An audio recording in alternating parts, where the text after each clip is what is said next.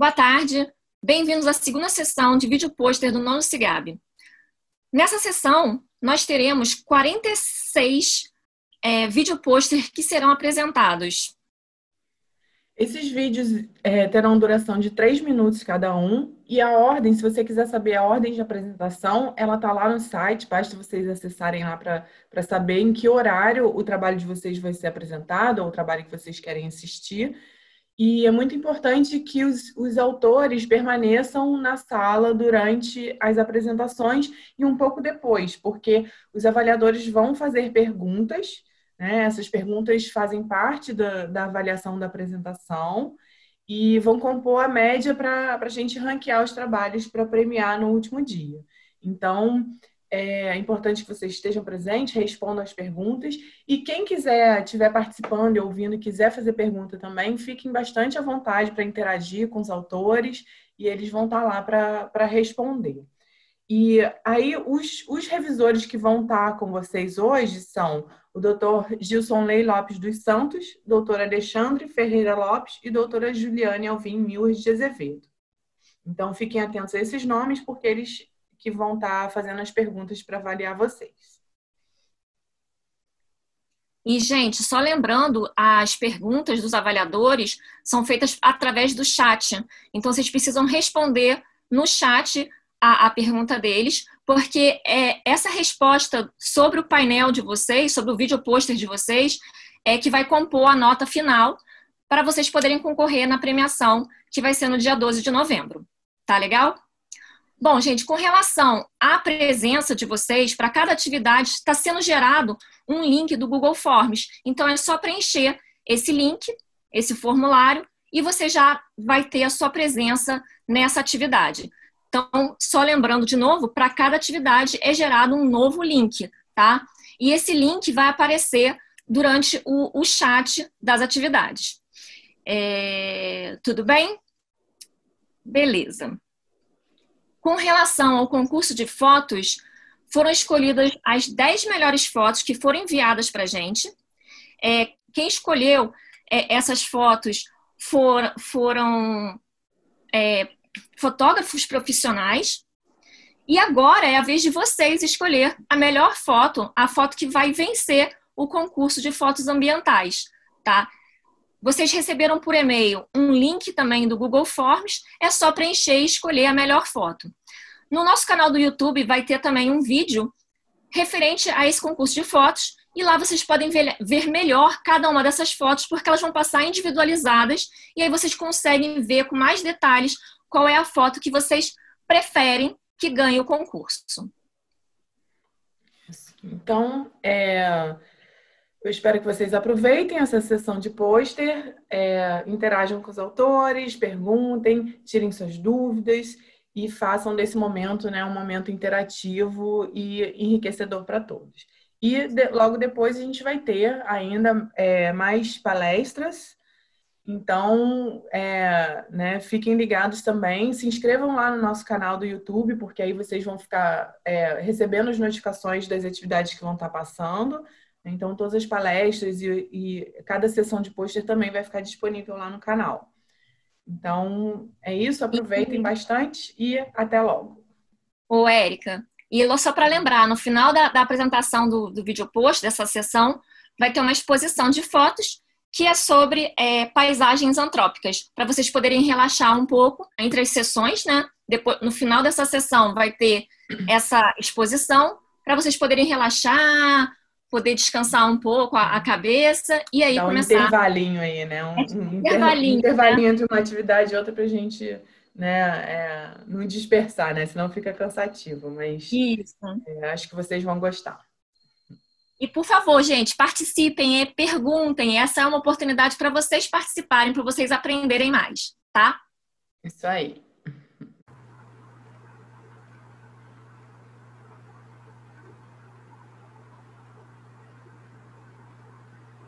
Olá, sou Laurene Lopes, sou doutorando em Química pela UF, fiz o trabalho em colaboração com Carlos Michel e Thaís. É o estudo da viscosidade cinemática de biodiesel a partir de óleo em natura e residual. Bom, a viscosidade cinemática é propriedade que mede a resistência do fluido e é dado pelo padrão de qualidade através da NBR 10.444 no intervalo de 3 a 6 milímetros quadrados por segundo. Bom, os problemas, tanto para alta quanto para baixa viscosidade, interferem diretamente no funcionamento do motor. O objetivo do trabalho é analisar o, se o, o biodiesel se enquadra dentro do limite estabelecido pela ANP. Metodologia foi usada no planejamento experimental 2 e terceira, utilizando como catalisador hidróxido de sódio 0,5,5, razão molar óleo álcool e com a mistura de óleo álcool no percentual de 10, 90, 20, 80 e 30, 70 de etanol e metanol. O etanol já tem sua cadeia estruturada no país, dessa forma seria muito mais sustentável utilizar ele. Porém, tem que trabalhar com razões molares muito altas. Entretanto, o metanol ele é, é, dá melhores rendimentos, porém é um muito tóxico e o país ele precisa importar esse produto. Ele não é emissível na glicerina, o que melhora o processo de purificação. Bom, com base nos resultados, no óleo in natura e no óleo residual, no óleo in natura teve duas reprovações acima do, de 6 e no óleo residual três reprovações acima de 6. Tá? Bom, os biodiesels, como está ali, os biodiesels de óleo vegetal in natura, com os parâmetros 0,5, 1 para 3, 10, 90 e 30, 70, apresentou valores superiores, o que foram reprovados. Não pode ser comercializado esse tipo de biodiesel, levando em consideração só esse padrão, só esse critério, na verdade. Os outros biodiesels, é, acima de, de 6, 0,5, 1,5, 1 para 3, 10,90 e 30,70 também sofreram reprovações para óleo residual. Conclusão: se utilizasse o etanol com o óleo residual, teria, tem um viés ambiental e seria muito melhor. Entretanto, no país é utilizado como solvente o metanol e o óleo de soja. Agradeço o nono simpósio de, de gestão pela oportunidade de estar apresentando e a UF por disponibilizar o laboratório. Macrofomina faseolina frente ao óleo essencial de menta arvensis. Eu sou Ana Rosa de Figueiredo e vou apresentar o presente estudo. Introdução. Macrofomina faseolina é um fitopatógeno habitante de solo que tem ampla distribuição geográfica. Ataca diversas espécies de planta, ocasionando danos em suas raízes e caule. Pode ocasionar perdas econômicas graves. Há uma demanda crescente por novas terapias que promovam segurança alimentar e nutricional com substâncias mais eficazes, menos danosas, principalmente em sistemas orgânicos e agroecológicos. Entre os produtos naturais, tem-se os óleos essenciais, compostos aromáticos voláteis, originados por meio do metabolismo secundário de plantas, com grande potencial de uso no controle de fitopatógenos. Diante dessas observações, o objetivo do trabalho foi avaliar a atividade biofungicida do óleo essencial de menta arvensis em diferentes concentrações sobre o crescimento micelial de macrofomina faseolina. No laboratório da Embrapa foi feita a cromatografia gasosa e espectrometria de massas para caracterização da composição química do óleo essencial. Para os bioensaios de avaliação do crescimento micelial, o óleo essencial sofreu uma diluição seriada. 40 microlitros de cada uma das diluições, mais os controles, foi depositada sobre BDA, a seguir espalhada com auxílio de uma alça de Drygalski. O fungo Macrofomina faseolina foi inoculado no centro da placa, a partir de uma cultura de 15 dias de crescimento. Foi colocada em incubação a 27 graus e após realizadas as mensurações do crescimento micelial. A partir daí foram calculadas a inibição do crescimento micelial e a taxa de crescimento micelial aos 3, 6 e 10 dias. Resultados da discussão. A tabela apresenta os constituintes químicos principais caracterizados no óleo essencial de menta, sendo o mentol o seu constituinte majoritário, Inibição do crescimento micelial. Na concentração de 3,2 microlitros, foi alcançada um pouco mais de 35% de inibição. Já a partir de 6,4 microlitros, foi alcançada uma inibição total do crescimento micelial. A taxa de crescimento micelial, em concentrações abaixo de 1,6 microlitros, foi comparado ao controle. Já acima de 6,4 microlitros, teve uma ação fungicida Conclusão: os resultados demonstraram que o óleo essencial de menta arvensis foi eficaz na inibição do crescimento micelial de macrofomina faseolina in vitro, demonstrando seu potencial fungicida. Olá, boa tarde. Meu nome é Ana Carolina Santos Ribeiro Lima e hoje vim tratar do artigo Como as cianobactérias vêm sendo utilizadas em pesquisas ambientais no Brasil. Esse artigo foi feito em colaboração com Crícia Silva e Gabriel Souza. As cianobactérias são organismos procariontes, fotossintetizantes e cosmopolitas, com ampla variedade de espécies, e estes são considerados promissores em diversas aplicações biotecnológicas. Isso por causa do seu alto valor nutricional e sua importância econômica, com a fabricação de produtos farmacêuticos e biofertilizantes, além da utilização destas no tratamento de efluentes. O objetivo desse trabalho foi realizar uma revisão sistemática dos estudos que abordam a utilização das cianobactérias na microbiologia ambiental e biotecnologia no Brasil. A metodologia utilizada foi a pesquisa do termo Cyanobacteria asterisco na plataforma Cielo, com restrição para os estudos realizados no Brasil. Houveram também outros critérios de exclusão, como artigos que tratam das toxinas de cianobactérias, que fizeram inventários de espécies ou estudos de estrutura da comunidade fitoplânctônica. No total, foram registrados 280 artigos, sendo apenas 20 destes relevantes a este trabalho. A maioria dos estudos foram realizados na região Sudeste, seguidas da região Sul. O tipo de trabalho incluídos nesse estudo foram o estudos de cultivo, estudos de efeito das cianobactérias sobre organismos ou produtos, tratamento de efluentes ou efeitos tóxicos sobre as cianobactérias ou a tolerância das cianobactérias. As duas cepas mais utilizadas nos estudos foram a spirulina platensis e a Formidium amtonale, isso porque elas possuem um alto valor proteico e elas são utilizadas na produção de biodiesel, respectivamente. Durante a revisão sistemática foram observados, dentre outros, os seguintes estudos. Estudos de análise dos fatores abióticos e fonte alternativa de carbono no desenvolvimento de diversas cepas, a utilização de subprodutos como biocombustíveis, de degradação de, de tintura de indústrias têxteis, cianobactérias como indicadores de qualidade de água e efeitos é, sobre efeitos de inibição, de inibição do crescimento de outros organismos patogênicos. Como conclusão, foi possível observar uma ampla aplicabilidade das cianobactérias na, bio, na biotecnologia ambiental. Estas são organismos versáteis e são responsáveis por muitos serviços ecossistêmicos, porém são pouco estudadas. Por fim, recomenda-se estudos que utilizem outras plataformas de pesquisa para ampliar a análise e obter dados mais robustos. Obrigada. Boa tarde, meu nome é Camila Tavares e o título do meu trabalho é Diversidade de borboletas lepidóptera em fragmento urbano de Restinga.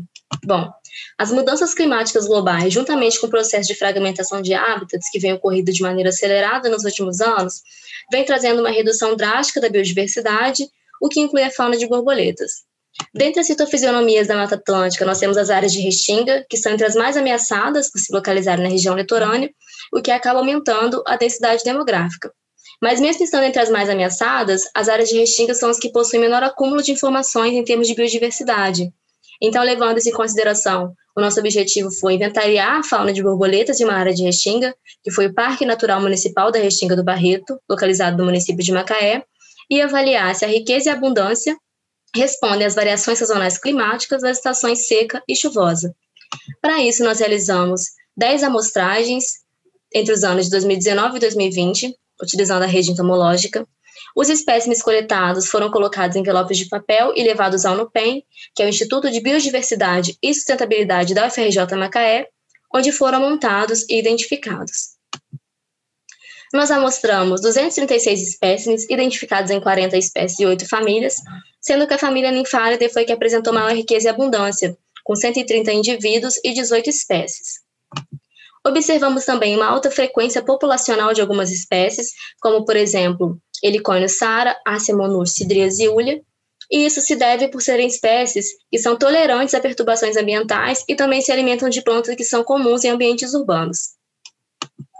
Observamos uma distribuição temporal para as borboletas com pico de abundância entre a estação seca, podemos ver os gráficos A e B, e esse resultado ele pode ser entendido como uma estratégia de fuga de inimigos naturais, uma vez que a estação chuvosa ela aumenta a disponibilidade de recurso e, concomitantemente, a predação e o parasitismo nos juvenis.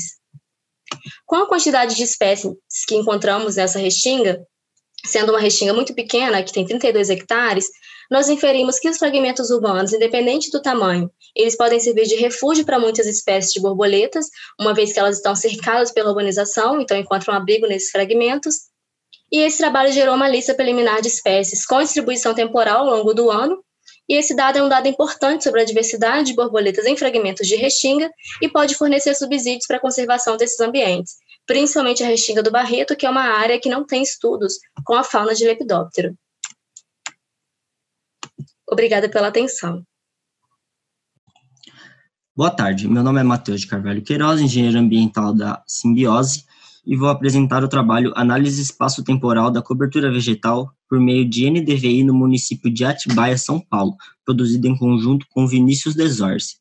Dada a fragmentação florestal da Mata Atlântica, principalmente pela expansão urbana e os incêndios florestais, buscou-se a gestão do território através do Sistema de Informação Geográfica, por meio do Índice de Vegetação da Diferença Normalizada NDVI. Assim, o objetivo do trabalho é realizar uma análise espaço-temporal da cobertura vegetal do município de Atibaia, São Paulo, para os anos de 2017, 2018 e 2019. Atibaia é uma estância hidromineral que possui um território de aproximadamente 48 mil hectares. Está inserido na Mata Atlântica, com predomínio de floresta ombrófila densa montana, com pequenas manchas de floresta estacional semidecídua e clima com chuvas concentradas entre novembro e março. Destacam-se no município cinco unidades de conservação públicas, entre estaduais e municipais. O índice de cobertura NDVI foi calculado pela fórmula de Rousseau, utilizando imagens obtidas por meio do United States Geological Service e as reflectâncias da banda do infravermelho próximo e vermelho. Os resultados encontrados corroboram com o considerado por Eduardo e Silva, variando em média de menos 0,3.778 e 0,3.114, com destaque para a vegetação aberta, que foi o uso mais representativo, com área média de 35,22% do território. A análise dos índices pluviométricos dos anos em estudo e seus anteriores demonstrou a cobertura que a cobertura de 2017 se destacou devido ao alto acúmulo no ano de 2016, como mostrado pela figura 1, figura 2 de 2018 e a cobertura de 2019, onde é possível observar da zona sudoeste que a vegetação não varia, tanto devido às unidades de conservação que se concentram nessa área. Em contrapartida, o resto do município possui fragmentação devido a mosaicos de áreas rurais. Portanto, por meio do estudo, foi possível avaliar a cobertura vegetal e a influência da sazonalidade, onde os dados gerados serviram para calibrar e embasar novos estudos para a quantificação espacial da biomassa e estoque de carbono florestal, demonstrando assim a importância da avaliação de fragmentos e áreas protegidas para a construção de políticas públicas e práticas conservacionistas no município de Atibaia, São Paulo. Essas foram as referências. Obrigado. Bom, é, boa tarde a todos. Meu nome é Diego, eu sou mestre em zoologia com ênfase em biogeografia pela Unesp do campus de Botucatu e hoje eu venho apresentar para vocês um trabalho que surgiu em paralelo com a minha dissertação de mestrado entre 2018 e 2020, em que nós estamos tentando analisar e compreender qual é a atual situação do, de proteção das espécies de mariposas da família Esfinge.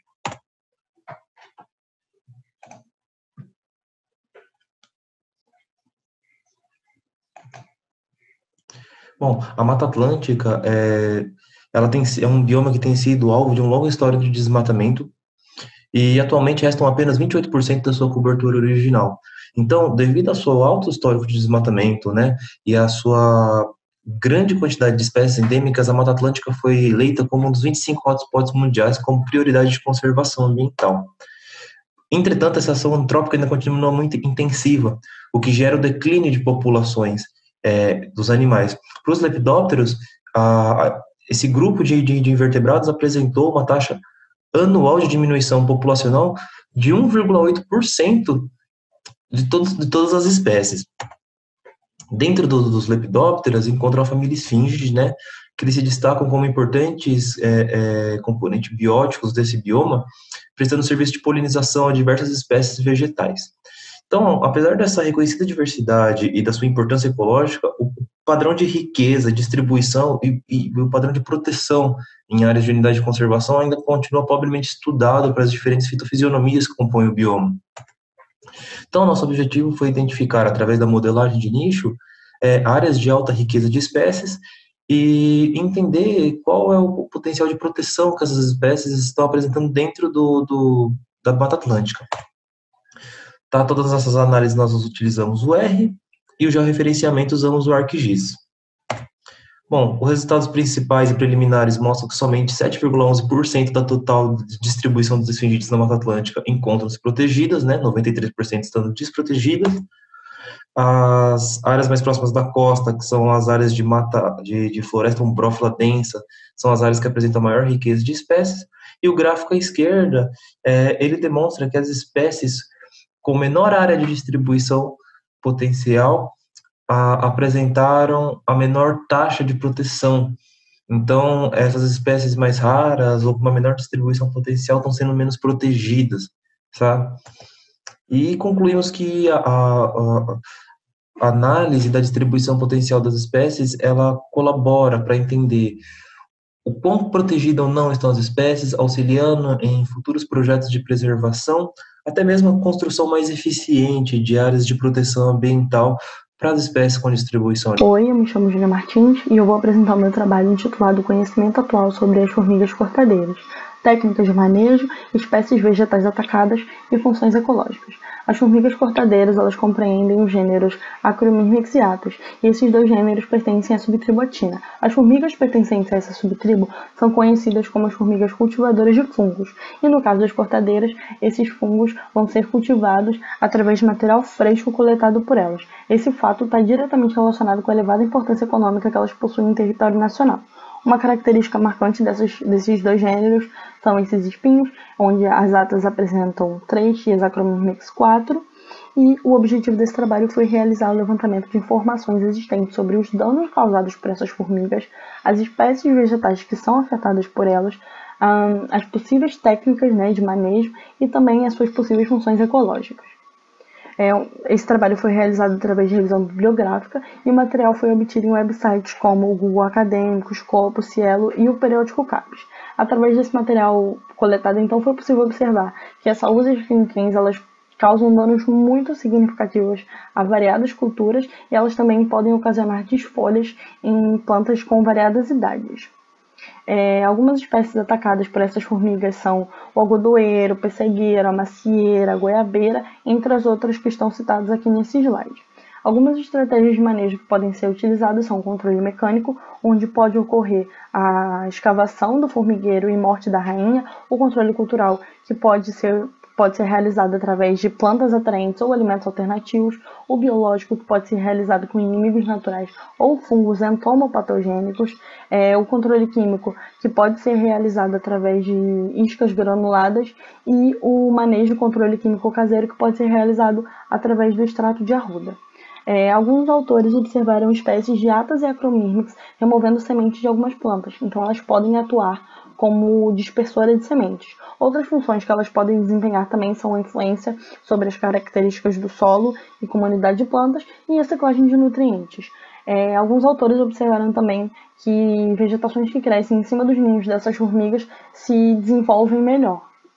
É, então, através desse trabalho, foi possível concluir que, apesar de causarem danos muito significativos a vegetações, é muito necessário conhecer sobre as funções ecológicas que essas formigas exercem, uma vez que elas podem ser muito importantes para a dispersão de sementes e para a ciclagem de nutrientes, por exemplo.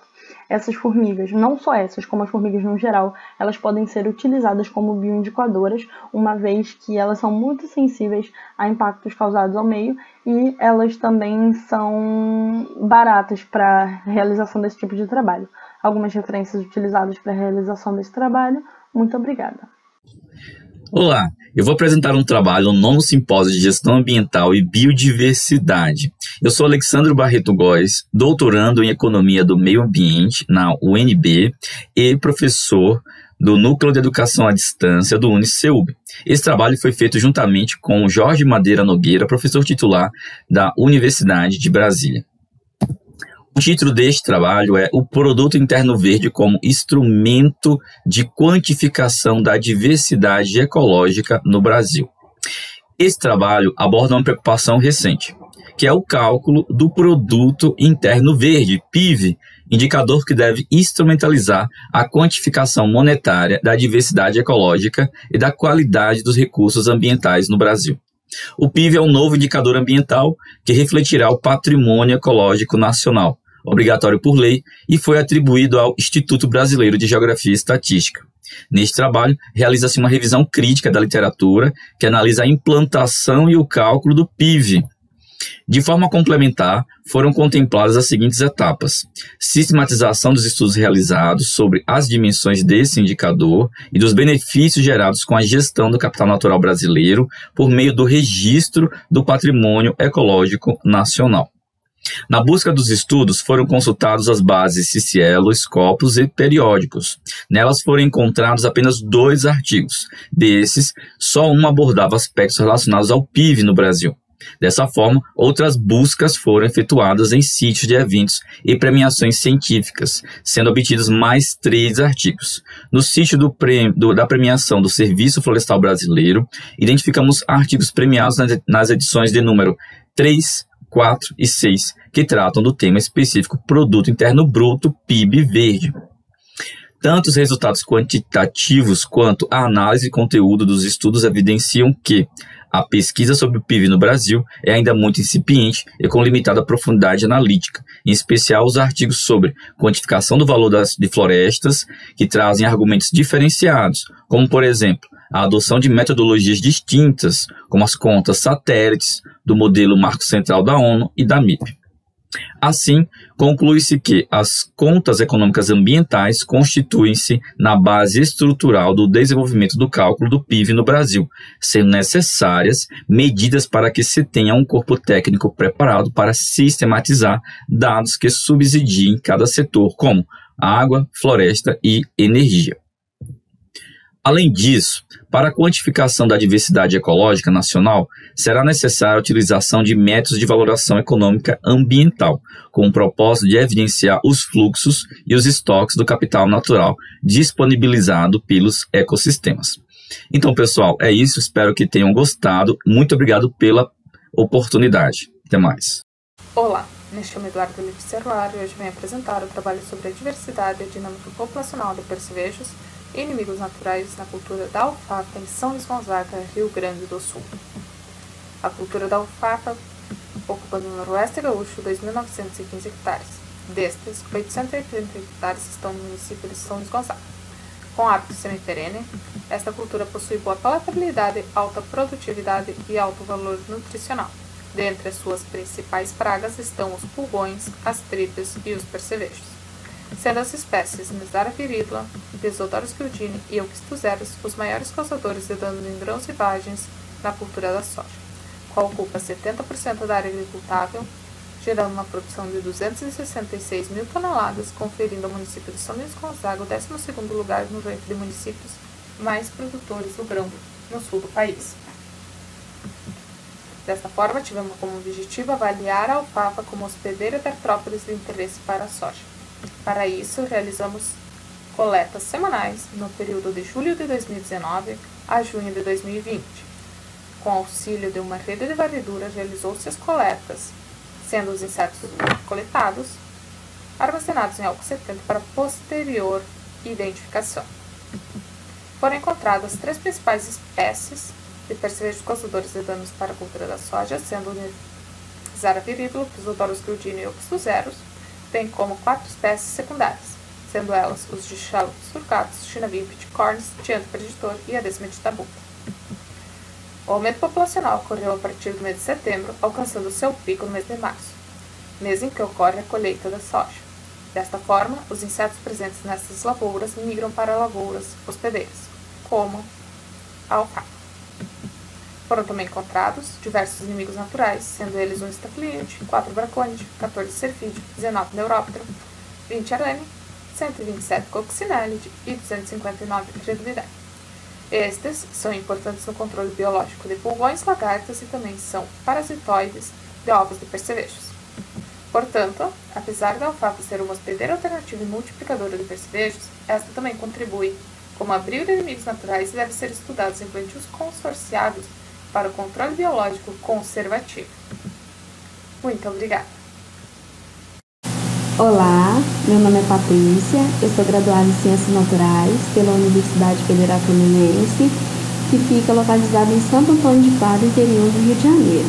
Hoje eu vim falar um pouquinho sobre é, o nosso trabalho, que foi elaborado juntamente com o professor e doutor André Luiz Gomes, que foi um levantamento florístico de plantas vasculares com hábito epífito na área urbana do município de Santo Antônio de Pádua.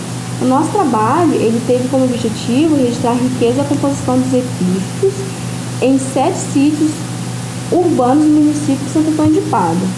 Para este estudo, foram considerados apenas florófitos plantados que não tenham sido podados recentemente e que ficam localizados na área urbana da sede do município, como em praças, alamedas e ruas.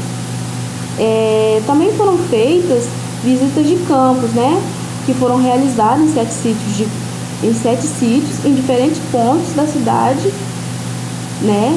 E a identificação botânica das espécies elas foram feitas por comparação de registros fotográficos e da descrição botânica, que encontrados em sites oficiais, é, especializados e também em livros. Essa foto é uma foto do Google Earth, né? É uma foto que mostra um pouquinho da, de onde, da localização dos sítios de coletas, né?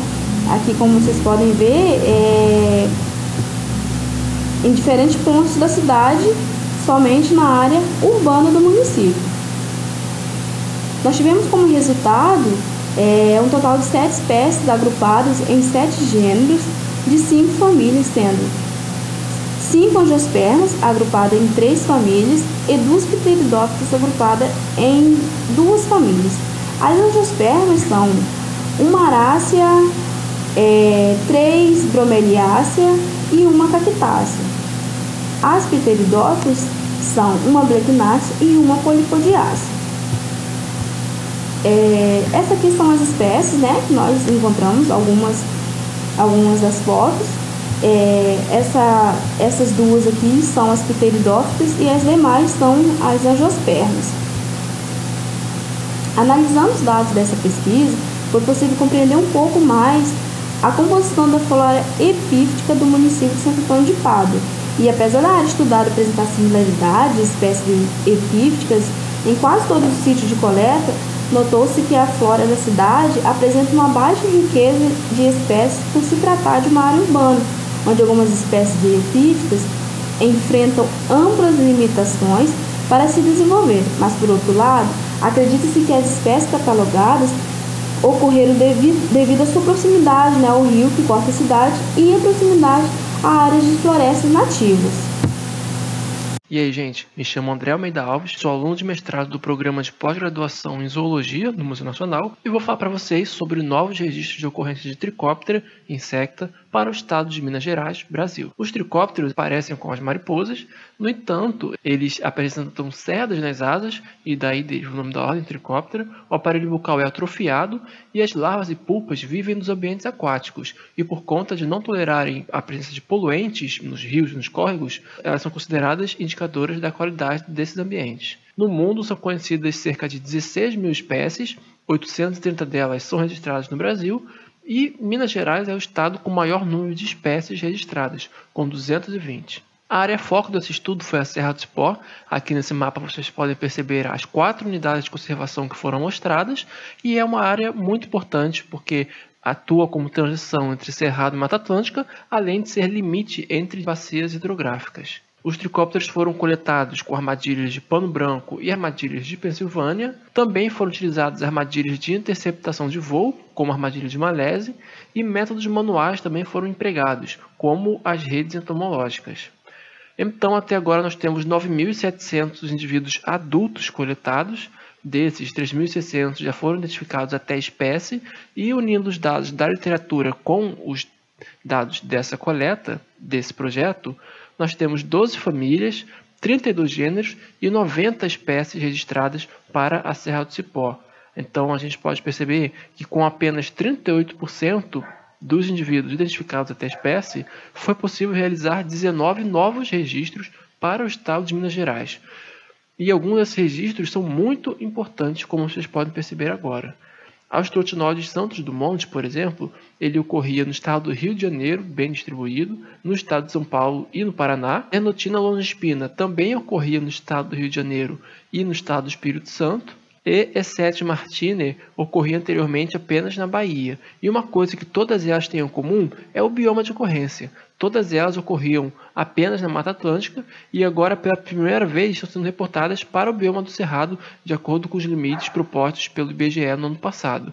Então isso reforça que a área realmente é uma importante zona de transição entre esses dois biomas que são tão ameaçados, que são o Cerrado e a Mata Atlântica. E além de diminuir o déficit de conhecimento acerca da distribuição das espécies no Estado e no Brasil, esses registros nos ajudam a subsidiar políticas de manejo e conservação, além de permitir ações de recuperação de áreas degradadas por ação antrópica e em casos de desastres ambientais. Então, eu gostaria de agradecer ao CNPq e à CAPES pelo financiamento, aos meus laboratórios e ao PPGZOU pelo apoio, ao IEF e ao ICMBio pelas autorizações de coleta, e a você que ficou me assistindo, muito obrigado. Olá, meu nome é Beatriz Rodrigues de Oliveira Ramos e eu vim apresentar o trabalho intitulado Riqueza, Diversidade e Abundância de Amebas testáceas em dois pontos do reservatório de Ribeirão das Lajes, no Rio de Janeiro. Primeiro, o que são amebas testáceas? Amebas testáceas ou tecamebas são protozoários de vida livre, ou seja, não causam patologia aos seres humanos, que possuem como característica principal a presença de uma carapaça protetora, na qual a ameba está inserida. A essa carapaça é dado o nome de teca. Esses organismos eles estão presentes em uma infinidade de, de ambientes de água doce, ambientes com características tanto lênticas quanto lóticas. Ambientes lênticos são aqueles onde não há correnteza, então, por exemplo, um lago. E ambiente lógico é aquele em que há correnteza, então, por exemplo, um rio. Dentre os ambientes onde elas podem estar estão os reservatórios. Reservatórios são ambientes artificiais, resultados da barragem de um rio. Então, por isso, esses reservatórios têm características análogas a rios e a lagos. Estudos com a comunidade de Tecameba em reservatórios são muito escassos, especialmente para o estado do Rio de Janeiro. Portanto, o objetivo desse trabalho foi analisar e comparar a diversidade, a riqueza e a abundância de ambas testáceas em dois pontos com características hidrológicas distintas localizados no reservatório de Ribeirão das Lajes, no estado do Rio de Janeiro. Para isso foram eleitos dois pontos, o ponto L1 e o ponto L4, sendo o ponto L1 lógico, com 2,5 metros de profundidade e característica fluvial, e o ponto L4 lêntico, com 40 metros de profundidade e característica lacustre. As amostragens foram feitas com a filtragem de 20 litros de água superficial no ano de 2002. Foram analisadas 10 amostras para cada ponto, com três subamostragens cada. Essas amostragens foram processadas em microscópio óptico e posteriormente foi feita as análises de riqueza, diversidade e abundância para o grupo. Encontrou-se como resultado 46 táxons no total das duas localidades, com maior abundância, maior riqueza e maior diversidade para o ponto L1. Esse resultado era esperado uma vez que os pontos, pontos lógicos são considerados mais propícios para a vida de tecamebas. Esses foram os três gêneros encontrados concomitantemente nas duas localidades, e esse é um resultado esperado porque esses gêneros são os mais comumente encontrados no plâncton de água doce brasileiro. A maior riqueza pode ser, pode ser relacionada à maior velocidade de corrente encontrada em pontos lógicos, porque dessa forma lavaria-se a vegetação marginal e promoveria-se a ressuspensão de organismos do sedimento. Em contrapartida, a maior profundidade característica lacustre do ponto L4 poderia dificultar a presença de espécies não acidentais, e de fato nesse ponto não foram encontradas espécies que não foram consideradas não acidentais. Dessa forma, conclui-se que há sim uma diferença em relação à riqueza, à diversidade e à abundância de amebas testáceas em pontos que possuem características hidrológicas distintas. E é isso, agradeço pela atenção e eu gostaria de sugerir é que todos aqueles que quiserem saber um pouco mais sobre Tecameba, seguirem o nosso Instagram, arroba Tecalages, a gente sempre posta por lá. Olá a todos e todas, meu nome é Gabriel Guimarães e juntamente com o professor André Felipe Nunes Freitas, somos os autores do trabalho intitulado Diversidade de Bromeliácea nas Unidades de Conservação Estaduais e Federais do Estado do Rio de Janeiro. A família Bromeliaceae apresenta cerca de 3.300 espécies conhecidas, sendo uma das famílias de maior importância para a floresta atlântica, apresentando também um elevado endemismo e uma ampla interação com a fauna. De tal forma, o presente trabalho teve como objetivo realizar o levantamento de bromeliáceas nas unidades de conservação estaduais e federais sobre domínio e gestão pública e avaliar as ACEIs quanto à riqueza e o número de espécies endêmicas. Foram consultadas algumas plataformas e bancos de dados digitais, como o Jabot e o Species Links. Com a obtenção da listagem de espécies, cada espécie individualmente foi submetida à Flora do Brasil 2020 para que fosse possível obter algumas informações a respeito delas, como hábito de vida, padrão fitogeográfico, entre outras informações. Além dos bancos de dados digitais, foram consultadas outras bibliografias é, referentes a levantamentos florísticos localizados dentro, dentro dessas unidades de conservação. Foram localizadas 40 unidades de conservação dentro das estaduais e federais, 26 de proteção integral e 14 de uso sustentável foram levantadas 249 espécies pertencentes a 23 gêneros. O número de espécies levantadas representa 78% das espécies ocorrentes no estado do Rio de Janeiro, 27% das espécies ocorrentes em floresta atlântica e representa 18% das espécies ocorrentes em território nacional. 32% das espécies levantadas são endêmicas do estado do Rio de Janeiro, 86% das espécies levantadas são endêmicas de floresta atlântica e 92% das espécies levantadas são endêmicas do Brasil. E o gênero mais representativo foi o gênero Vrícia. 27 espécies são consideradas em perigo, 11 espécies consideradas como criticamente em perigo, 10 espécies apresentam deficiências de dados e 7 espécies são consideradas vulneráveis. 78% das espécies apresentam hábito epifítico, né? sendo 88 espécies exclusivamente epífitas foi constatado que o Parque Nacional Serra dos Órgãos apresenta a maior riqueza de espécies, onde também o Parque Estadual de Três Picos apresenta o maior número de espécies endêmicas, e o Parque Estadual de Desengano apresenta a maior concentração de espécies ameaçadas. Além do seu elevado endemismo e ameaça em floresta atlântica, torna-se necessário maiores estudos que avaliem os estados das populações, em especial daquelas espécies que apresentam algum grau de ameaça.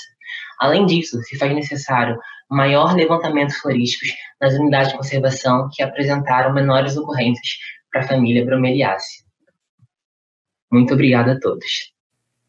Boa tarde, meu nome é Eduardo Dalfarra e vou apresentar o trabalho em conjunto com o professor Felipe Amorim, intitulado Como a especialização funcional torna uma espécie esfingófila de cerrado ecologicamente generalista. Mariposas da família Sphingidae são polinizadoras noturnas muito eficientes e classicamente conhecidas por coletar néctar com suas línguas compridas em pleno voo. Suas interações com flores são exemplos clássicos para especializações extremas e até mesmo com ilustração de pressupostas coevoluções. Porém, flores extremamente especializadas só podem ser acessadas por poucas mariposas com propósitos extremas, que, por sua vez, podem acessar quaisquer flores durante a noite. Uma dessas espécies especialistas é a Tocoiana formosa, que possui flores tubulares longas e finas e um complicado sistema de autoincompatibilidade, tornando-a totalmente dependente dessas mariposas para sua reprodução. O interessante é que, ao contrário de espécies extremamente especialistas, essa espécie ocorre em todo o cerrado e tem elevado sucesso reprodutivo. Este trabalho teve como objetivo identificar os polinizadores de Tocoiana formosa e analisar a especialização de suas interações. Nós realizamos o levantamento de singídeos em seis áreas de cerrado a partir de armadilhas luminosas. As mariposas foram devidamente coletadas e seu corpo e probóscide foram verificados para encontrar pólen da planta de interesse. Para análise das interações, nós construímos uma matriz de, de, frequências com os dados de interações de todas as mariposas e plantas coletadas em Uberlândia, Minas Gerais. Nós identificamos oito espécies polinizadoras de tocoena, todas de propósito longa, sendo agrocingulata, manduca rústica e manduca paphos as mais comuns. Tocoena formosa apresenta uma especialização moderada dentro de uma rede generalista, onde a maior parte das espécies interagem entre si. Esta rede também é modular, sendo que as espécies podem ser encaixadas em módulos de similaridade. Em seu módulo, Tocoena Formosa se comporta como um hub, atuando como uma régua que se conecta diretamente com todas as mariposas em seu módulo, e indiretamente com as outras espécies vegetais. Importante notar que Tocoena Formosa agrupa em seu módulo todas as suas polinizadoras linguarudas e também as outras espécies de plantas especializadas da comunidade. Mesmo sendo tão especialista, Tocoena formosa é ecologicamente generalista, sendo polinizada por um grupo funcional de oito espécies de mariposas, que também atua como importante visitantes florais na comunidade. Assim, Tocoena Formosa oferece um nicho privado com recurso em abundância para essas espécies e se torna um importante recurso para essas importantes mariposas. Concluindo, Tocoena formosa é um importante nicho privado para mariposas de língua longa e pode ser considerado uma espécie-chave para o cerrado e para a manutenção de polinizadores que possuem um importante papel na polinização de outras espécies vegetais. Muito obrigado. Olá, me chamo Michel Rodrigues, sou aluno do curso de bacharelado em Ciências Biológicas da Unijorge orientado pela professora e coordenadora do curso, a doutora Camila Magalhães Pigoso. Irei apresentar sobre a dipterofauna visitante floral e as espécies visitadas em remanescente urbano de Mata Atlântica, no entorno do monumento da Pedra de Xangô, Cajazeira, Salvador, Bahia.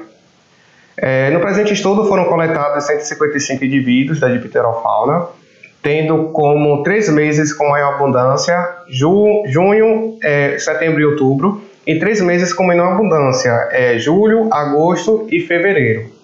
Sobre a fauna visitante, né, o destaque vai aí para duas espécies. Em primeira, a papada furcata, com 88 indivíduos, seguido pela Meroda equestres, com 34 indivíduos, ambas as espécies da família Sift, e conforme a ruda, a papada furcata provavelmente ocupa uma posição elevada nas relações de dominância entre as espécies da família.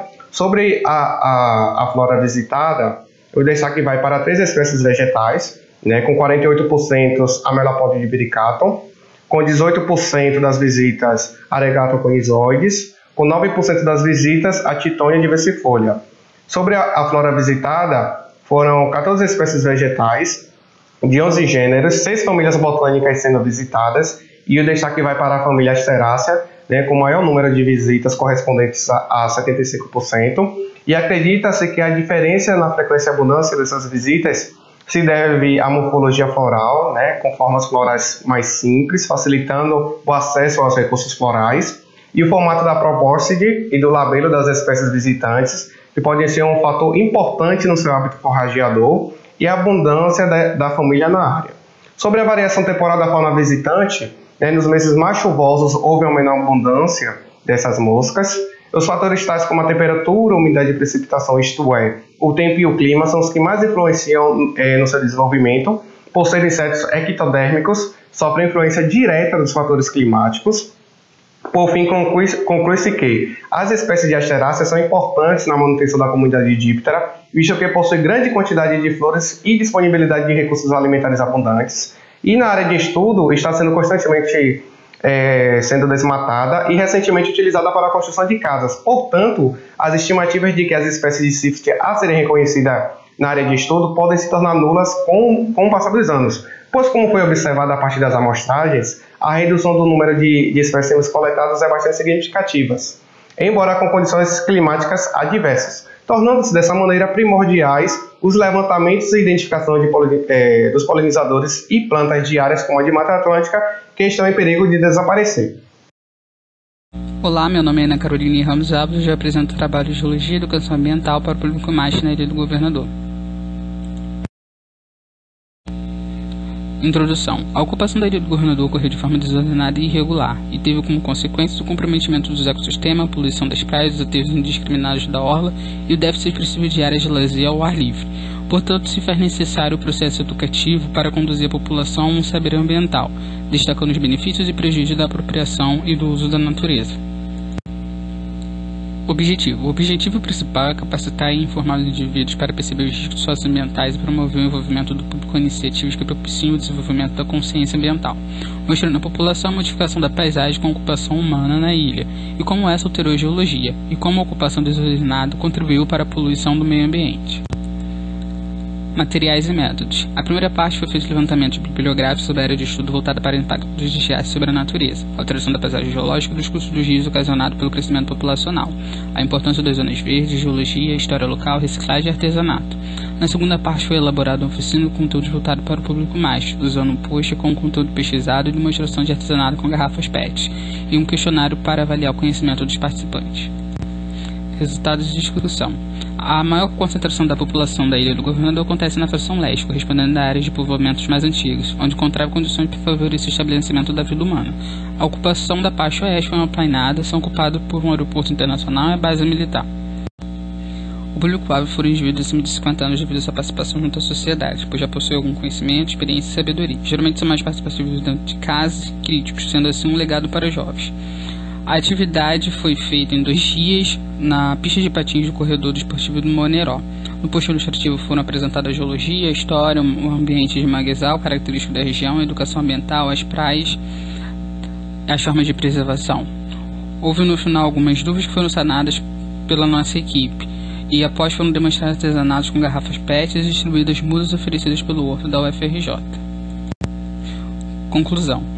A oficina teve o papel de contribuir na reflexão de comportamento de cada indivíduo e da promoção do desenvolvimento sustentável, além de ajudar a disseminar a conscientização da educação ambiental e dos seus ambientes de convívio social e disseminar o conhecimento científico relacionado à geologia. Em relatos de alguns participantes, apesar de ter consciência sobre a importância do meio ambiente, admitiram a falta de alguma atitude mais enérgica na contribuição para a preservação e conservação do ambiente e acharam importante o papel da reciclagem. Conclui-se, por fim, que as ações de educação ambiental vão além das salas de aula aos mais variados públicos, pois todos os seres humanos podem estar em lugares diferentes, mas todos devem contribuir para o bem comum, que é a preservação do meio ambiente. Obrigada. Olá, eu me chamo Monique Gomes da Silva e o título do trabalho é Ecoturismo no Parque Natural Municipal de Nova Iguaçu. Um turismo empenhado para educar e conservar a motivação para o surgimento do ecoturismo foram os distúrbios ocasionados pelo turismo de massa. A visibilidade do ecoturismo no Brasil se deu a partir da década de 1990 com a Eco 92. Atualmente, as unidades de conservação são os espaços naturais próprios para o ecoturismo no país. A pergunta da pesquisa: o ecoturismo desenvolvido no Parque Natural Municipal de Nova Iguaçu possui afinidade com os propósitos do segmento, o PNMNI é uma unidade de conservação da categoria dos parques municipais. É, a sua localização está no maciço Jericinó Madureira Mendanha, entre Mesquita e Nova Iguaçu, e o tamanho territorial é de 1.100 hectares de remanescente florestal de Mata Atlântica. A, é, foi realizada uma pesquisa de campo no PNMI, foram 43 ecoturistas pesquisados, e o método utilizado foi um questionário com sete perguntas. Ah, foi observada é, que os grupos possuíam poucas pessoas em cada um. Ah, os ecoturistas eram, em sua maioria, jovens. Ah, a maioria possuía o sexo masculino. E a escolaridade, a maioria possuía de nível superior. Os ecoturistas em sua maioria, possuíam é, um entendimento adequado sobre o significado do ecoturismo, é, compreendiam a importância de se conservar a, a área do parque, é, eles conseguiam estabelecer uma relação entre o ecoturismo e os processos educativos e conservativos, e eles notaram é, uma mudança interna e externa com as práticas de ecoturismo. Com tudo isso, é, concluiu-se de que uh, a atividade ecoturística no PNMNI possui afinidade com os princípios do ecoturismo.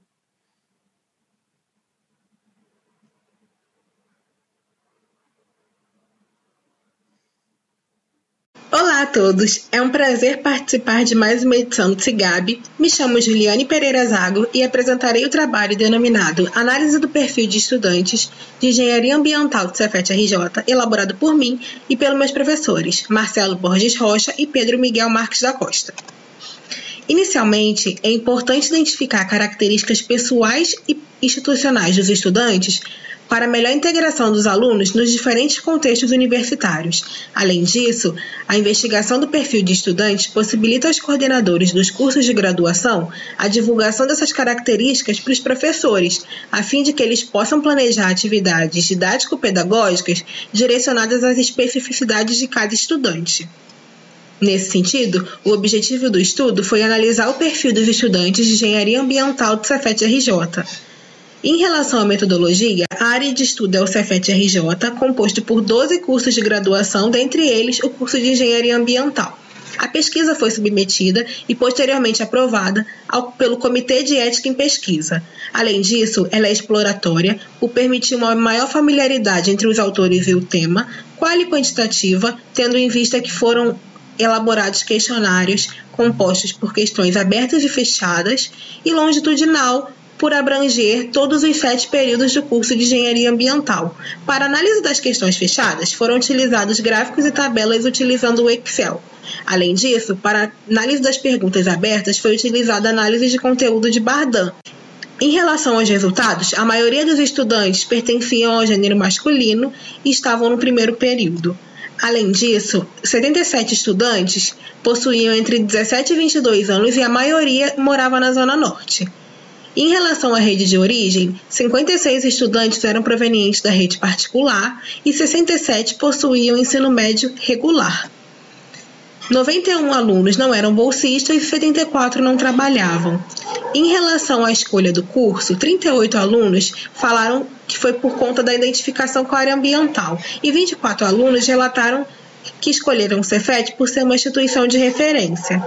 Em relação à conclusão do estudo, percebe-se que nos períodos iniciais possuíam mais alunos quando comparados aos últimos.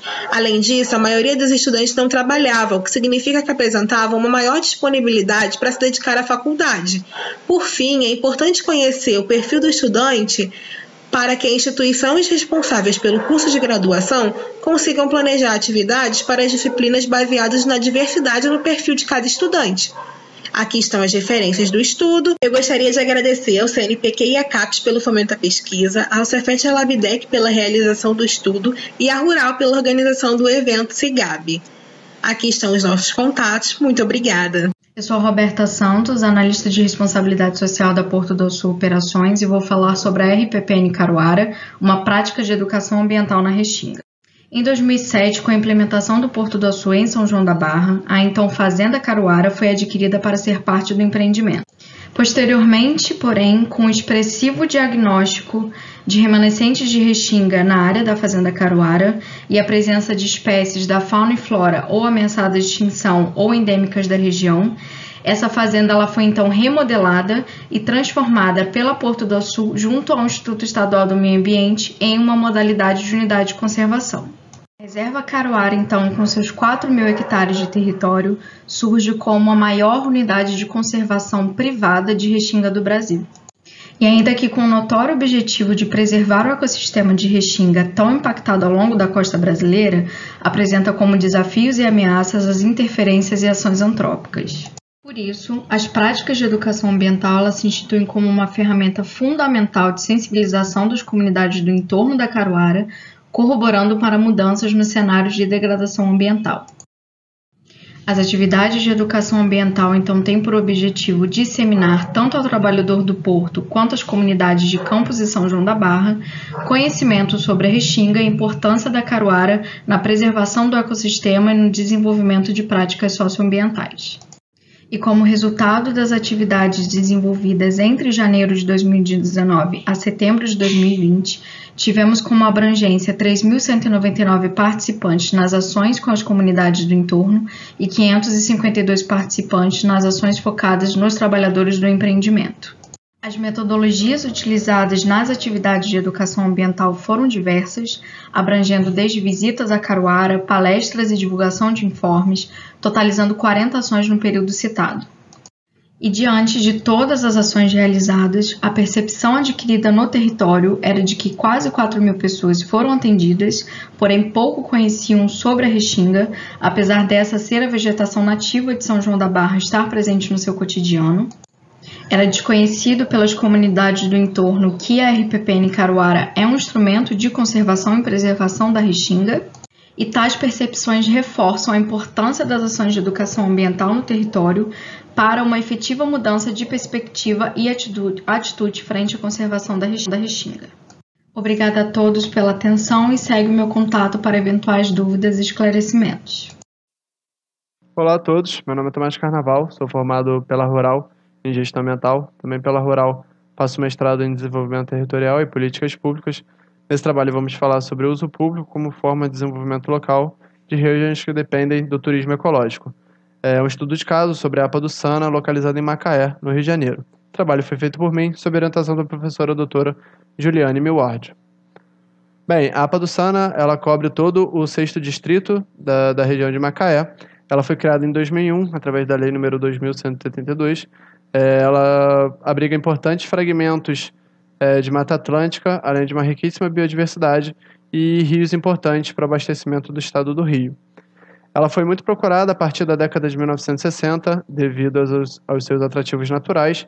Destaquei é, a, a vista do peito do pombo, nessa foto à esquerda, e as suas cachoeiras, principalmente as cachoeiras localizadas no córrego do Peito do Pombo. É, muitas atividades são atualmente desenvolvidas dentro da região, incluindo o cachoeirismo, rafting, a escalada, a observação de pássaros e o acampamento. Bem, a metodologia, como eu tinha dito, é um estudo de caso, foi feita de forma descritiva, documental e bibliográfica. O desenvolvimento local ele gira totalmente é, em torno dos seus atrativos naturais, as atividades econômicas são totalmente ligadas ao, ao turismo ecológico, seja como pousadas, restaurantes, campings. É, a região sofre com a, com a, ausência do poder público, principalmente na, nas trocas de mandatos entre, entre os governantes. E essa ausência, é, como consequência, ela gerou conflitos entre atores sociais, e isso representa um risco ao desenvolvimento local. Bem, a região apresenta alguns outros desafios que necessitam ser enfrentados é, para conseguir conciliar é, os propósitos né, pertinentes à humanidade de conservação e o desenvolvimento local. Bem, alguns desafios foram destacados, incluindo as queimadas, o uso de agrotóxicos, é, as vias de acesso e é, os serviços insuficientes de te telecomunicação. Bem, como conclusão, a região do Sana, assim como diversas outras regiões que dependem do turismo ecológico, elas necessitam se adaptar é, à lógica do desenvolvimento sustentável. Por sua vez, esse processo precisa ser inclusivo, é, com o respaldo da, da comunidade local. O turismo econômico ele já é uma alternativa para o desenvolvimento da, da economia local, principalmente dos pequenos distritos, e não podemos separar né, o movimento de, de proteção dos nossos ecossistemas, da nossa biodiversidade, das culturas dos, dos povos tradicionais, do combate à pobreza. Bem, de forma breve, é isso. Muito obrigado. É... Bom evento a todos. E é isso, gente. Obrigado. Boa tarde, meu nome é Beatriz Cândido Alonso vou apresentar o trabalho sobre a determinação de cádmio, chumbo e níquel presente em partículas totais de suspensão e sua relação com a qualidade do ar no município de Volta Redonda. Devido ao impacto na saúde humana relacionado aos metais presentes em partículas totais de suspensão, o presente trabalho tem como objetivo determinar a concentração desses metais durante os anos 2016, 17 e 18 e comparar o limite estabelecido pela CONAMA 03 de 1990 e a revogada CONAMA 491 de 2018. A metodologia do trabalho se deu através da coleta e da análise. A coleta foi feita através de amostrador de grande volume, conhecido também como raio-vol, esse amostrador ele foi instalado em uma das principais avenidas do município, tá? E o funcionamento dele se deu através de um período de 24 horas e seguindo as datas que são impostas pelo órgão ambiental vigente no estado do Rio de Janeiro, o INEA. E todas as análises foram feitas no espectrofotrômetro do Laboratório de Meio Ambiente da Companhia Siderúrgica Nacional. Os, resu os resultados obtidos através da análise foi possível fazer a comparação na CONAMA. Então, no gráfico à esquerda de vocês é o gráfico das concentrações médias anuais dos metais. E a CONAMA, tanto a 03 de 1990 quanto a 491 de 2018, estabelece limite de 0,5 micrograma por metro cúbico para o metal chumbo. Apenas esse metal que tem o um limite estabelecido pela CONAMA, tanto a 03 quanto a revogada 491. Então, se pegarmos o chumbo, o cádmio e o níquel, né, também seguindo esse limite, é possível observar que nenhum desses três metais ultrapassou o limite né, para o chumbo, que é de 0,5 micrograma por metro cúbico. O gráfico à direita de vocês é o gráfico de concentrações médias anuais das partículas totais de suspensão. Também é possível observar que nenhuma das três concentrações médias durante os três anos ultrapassou o limite anual da CONAMA de 80 microgramas por metro cúbico, nem o limite diário da CONAMA, que é de 240 microgramas por metro cúbico. Então, é possível concluir que os resultados obtidos, tanto as concentrações médias dos metais, tanto as partículas de suspensão, atenderam ao limite estabelecido pela CONAMA. Então, muito obrigada pela atenção de vocês. Qualquer dúvida, estou à disposição. Boa tarde, eu sou a Josiane, do, da pós-graduação em Engenharia de Biosistema da UF. Meu tema está relacionado à caracterização da qualidade e produtividade da biomassa do BRS Capiaçu como fonte alternativa de energia cultivado em Cachoeiras de Macacu, Rio de Janeiro. Esse tema é de suma importância para a humanidade, que diz a respeito de combater rapidamente as mudanças do clima, eventos climáticos extremos no mundo inteiro, que tem relação direta com aquecimento global. Nesse contexto, é, utilizar a biomassa vegetal é, como alternativa ao uso de combustíveis fósseis é, proporciona menor emissão de gases do efeito estufa. Nesse sentido, é, o uso do capim-elefante, o BRS capiaçu, para a produção de biomassa como fonte alternativa de energia é justificada por sua elevada produtividade. Logo, por ser um, um tema de suma importância, o estudo foi direcionado com o objetivo de utilizar o capim como biomassa para fonte alternativa de energia. Então, é, após o estudo realizado, né, concluímos que é, altas taxas de valores do poder calorífico associadas com alta produtividade é, confirmam que a planta, né, no seu corte aos 150 dias, que o BRS Capiaçu tem potencial para ser utilizado como fonte energética cultivada ali nessa região metropolitana do Rio de Janeiro. Eu quero agradecer por participar do nono simpósio de gestão ambiental e biodiversidade. Obrigada. O presente trabalho, intitulado Números do Cadastro Ambiental Rural na Região Norte Fluminense, compõe o nono simpósio de gestão ambiental e biodiversidade. E eu, Flávia Ribeiro Vilela Fernandes, tenho a satisfação de apresentá-lo. O novo Código Florestal estabelece normas para a proteção da vegetação nativa em áreas de preservação permanente, reserva legal, uso restrito, exploração florestal e assuntos relacionados. E uma das inovações da lei é a criação do Cadastro Ambiental Rural.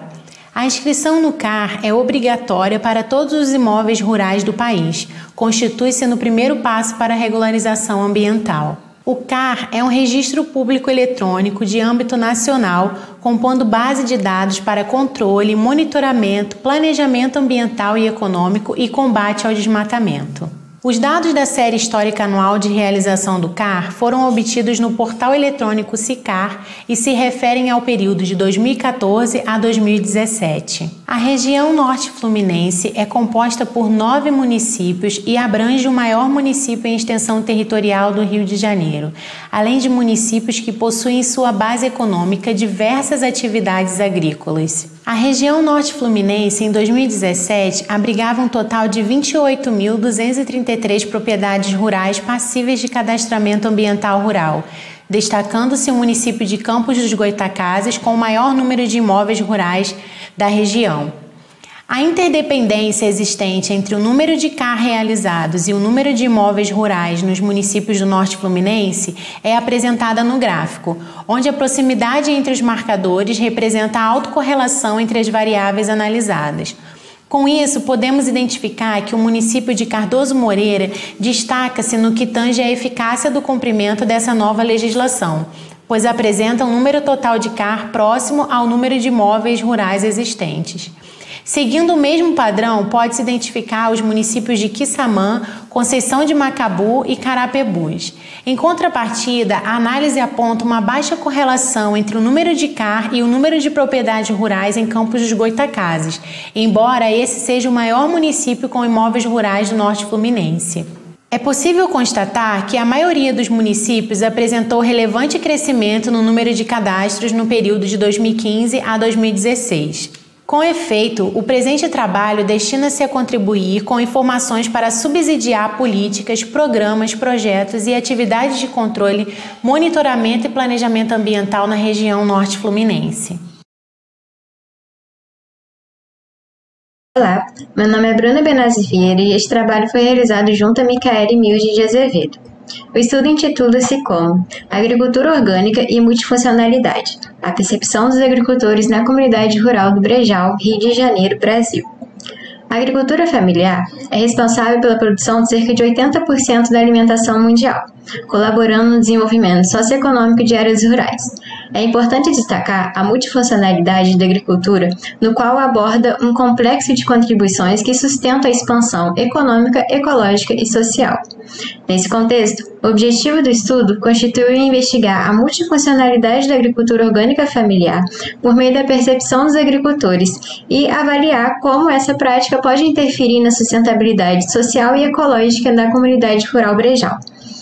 A comunidade está situada em Petrópolis e destaca-se pelo seu pioneirismo na agricultura orgânica da região. Para este estudo, foram visitadas 15 propriedades. O projeto de pesquisa foi aprovado pela Comissão de Ética na Pesquisa. Posteriormente, iniciaram-se os campos, com entrevistas semi-estruturadas por meio do roteiro com perguntas pré-elaboradas. Os entrevistados afirmaram que inicialmente houve uma grande resistência em relação à introdução do manejo orgânico, uma vez que as gerações anteriores utilizavam agrotóxicos em massa. Entretanto, perceberam que o acréscimo na geração de renda dos orgânicos e a oportunidade de conquistar seus consumidores era um grande benefício. É necessário destacar a assistência técnica e o acesso democrático aos sistemas de produção mais adequados, uma vez que asseguram a sustentabilidade social dos produtores. 72% dos entrevistados recebe algum tipo de apoio no processo produtivo. Entretanto, uma pequena parcela não possui acesso aos benefícios, demonstrando a necessidade de universalização da oferta de programas. Na comunidade, os entrevistados relatam a diversidade de plantas como uma, um grande diferencial em suas lavouras. A agricultura orgânica estimula a diversificação produtiva e oferta produtos que são incomuns no agronegócio. Além disso, a produção associada a ações conservacionistas evidencia-se nas propriedades visitadas. Em iniciativas com a GEVAP e CEIVAP, também são responsáveis pela concepção de serviços ambientais associados à disponibilidade hídrica, à biodiversidade e à regulação do clima, com projetos de restauração e conservação florestal. Outro benefício associado à agricultura orgânica apontada é o turismo rural, o qual demonstra-se como uma importante estratégia de desenvolvimento socioeconômico. Com o circuito ecoturístico, a comunidade desenvolveu diversas pousadas, restaurantes e trilhas, garantindo autossuficiência financeira na localidade. Sendo assim, a agricultura orgânica na comunidade brejal denota multifuncionalidade por meio de atividades geradas pela assistência rural, turismo e ações sustentáveis, abrangendo dimensões socioeconômicas, ecológicas e culturais na comunidade. Boa tarde a todos. O meu trabalho chama Germinação e Sobrevivência de duas espécies arbóreas em rejeito de mineração do rompimento da barragem de Fundão em Mariana, Minas Gerais. Meu nome é Alessandro Lopes Caetano, sou mestre em Ciências Ambientais pela Unifal. Introdução: o rompimento. Esse rompimento da barragem de Fundão foi em 2015, sendo um total de 55 milhões de metros cúbicos de lama que se espalhou, chegando até no mar e ocorreu uma grande destruição do ambiente natural de vilarejos e perca de vida. Essa imagem ilustra a barragem aonde ela estourou. A gente pode perceber que ela percorreu todo isso e foi desaguar no Oceano Atlântico. Aqui, em Bento Rodrigues, Minas Gerais, uma das primeiras cidades que a lama passou, a gente pode ver que era uma cidade, é, uma cidade, um vilarejo, e depois do acidente ficou totalmente praticamente encoberta.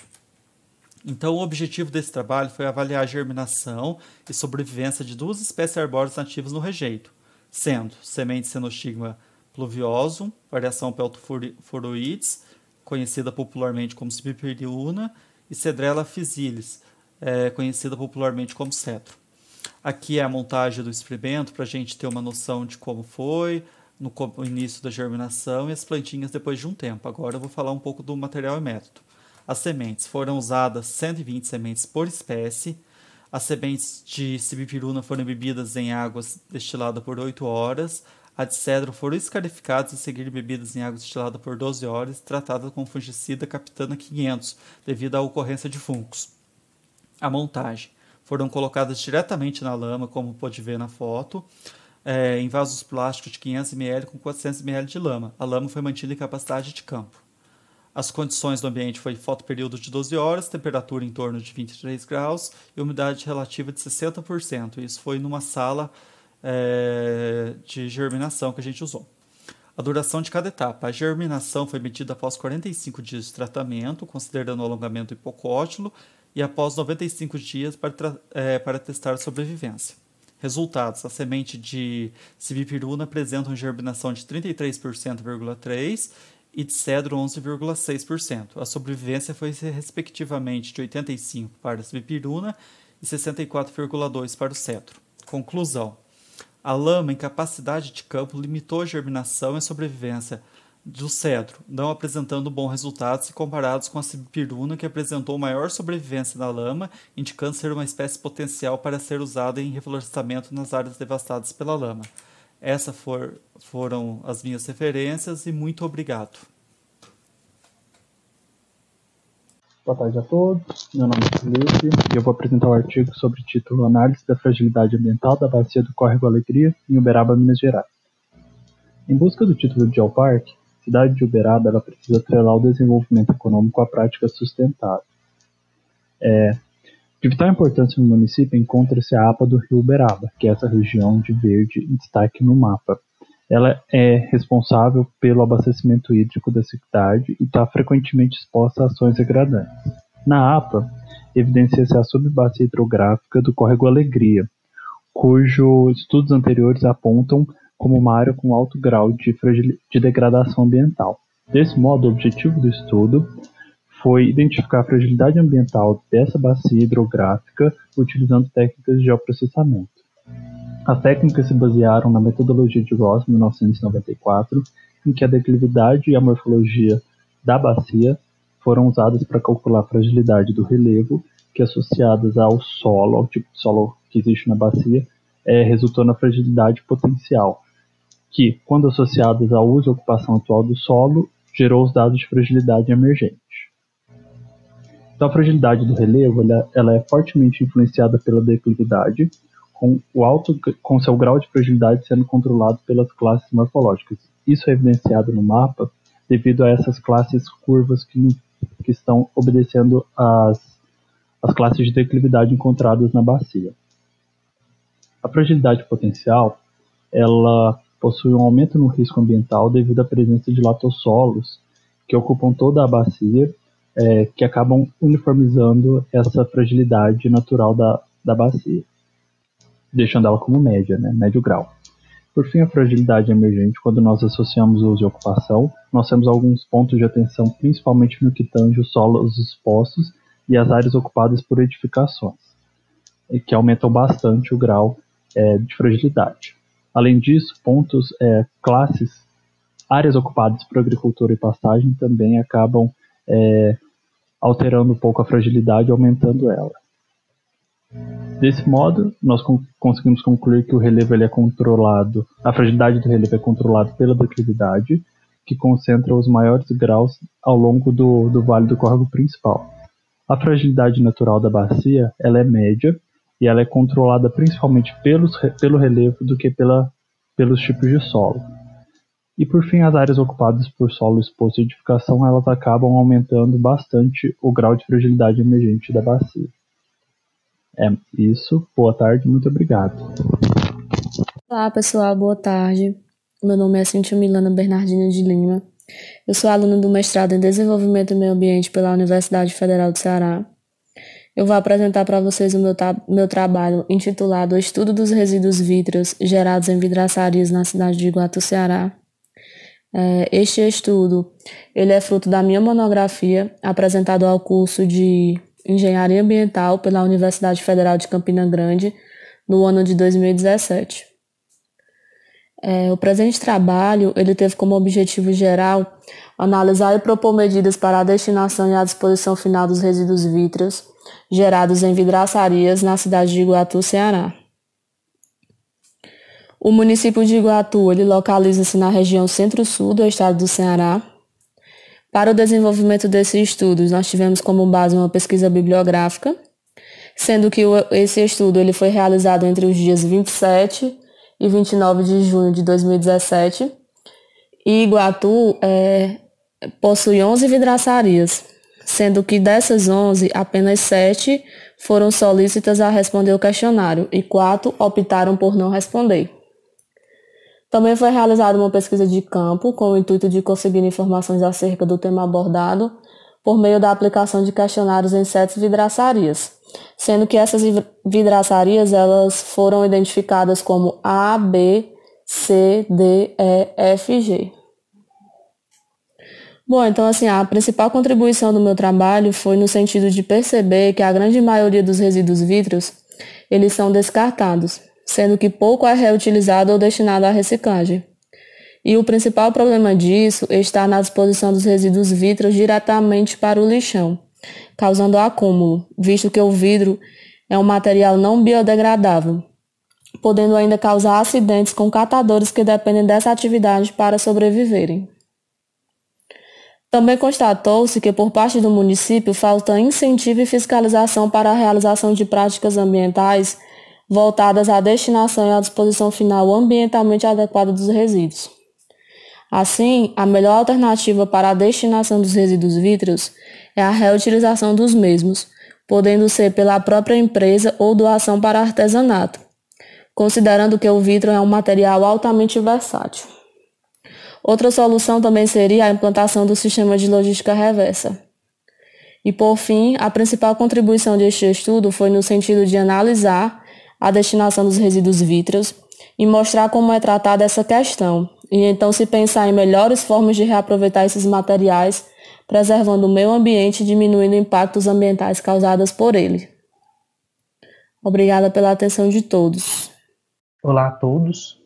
Meu nome é Placiano Viana de Lima, juntamente com a professora Conceição Aparecida, o professor Cassiano e o professor Cirus, nós elaboramos esse trabalho intitulado Curso de Extensão em Sistema de Gestão Ambiental para Interpretação da Norma ISO 14001-2015, um estudo de caso no IF Sudeste, Minas Gerais, no campus de Juiz de Fora. A ISO 14001 ela traz aí como primícia o controle de possíveis aspectos e impactos que a empresa ela pode é, desencadear no meio ambiente. O objetivo do curso foi é, trazer os conceitos fundamentais e os requisitos presentes na norma para aplicações práticas de implementação e manutenção de um sistema de gestão ambiental. Tivemos aí é, duas formas de inscrição. Foram divididos em duas grandes turmas durante o ano de 2019. As aulas foram 100% presenciais, com duração de uma hora. A transmissão dos conhecimentos ela foi desenvolvida através de metodologias teóricas,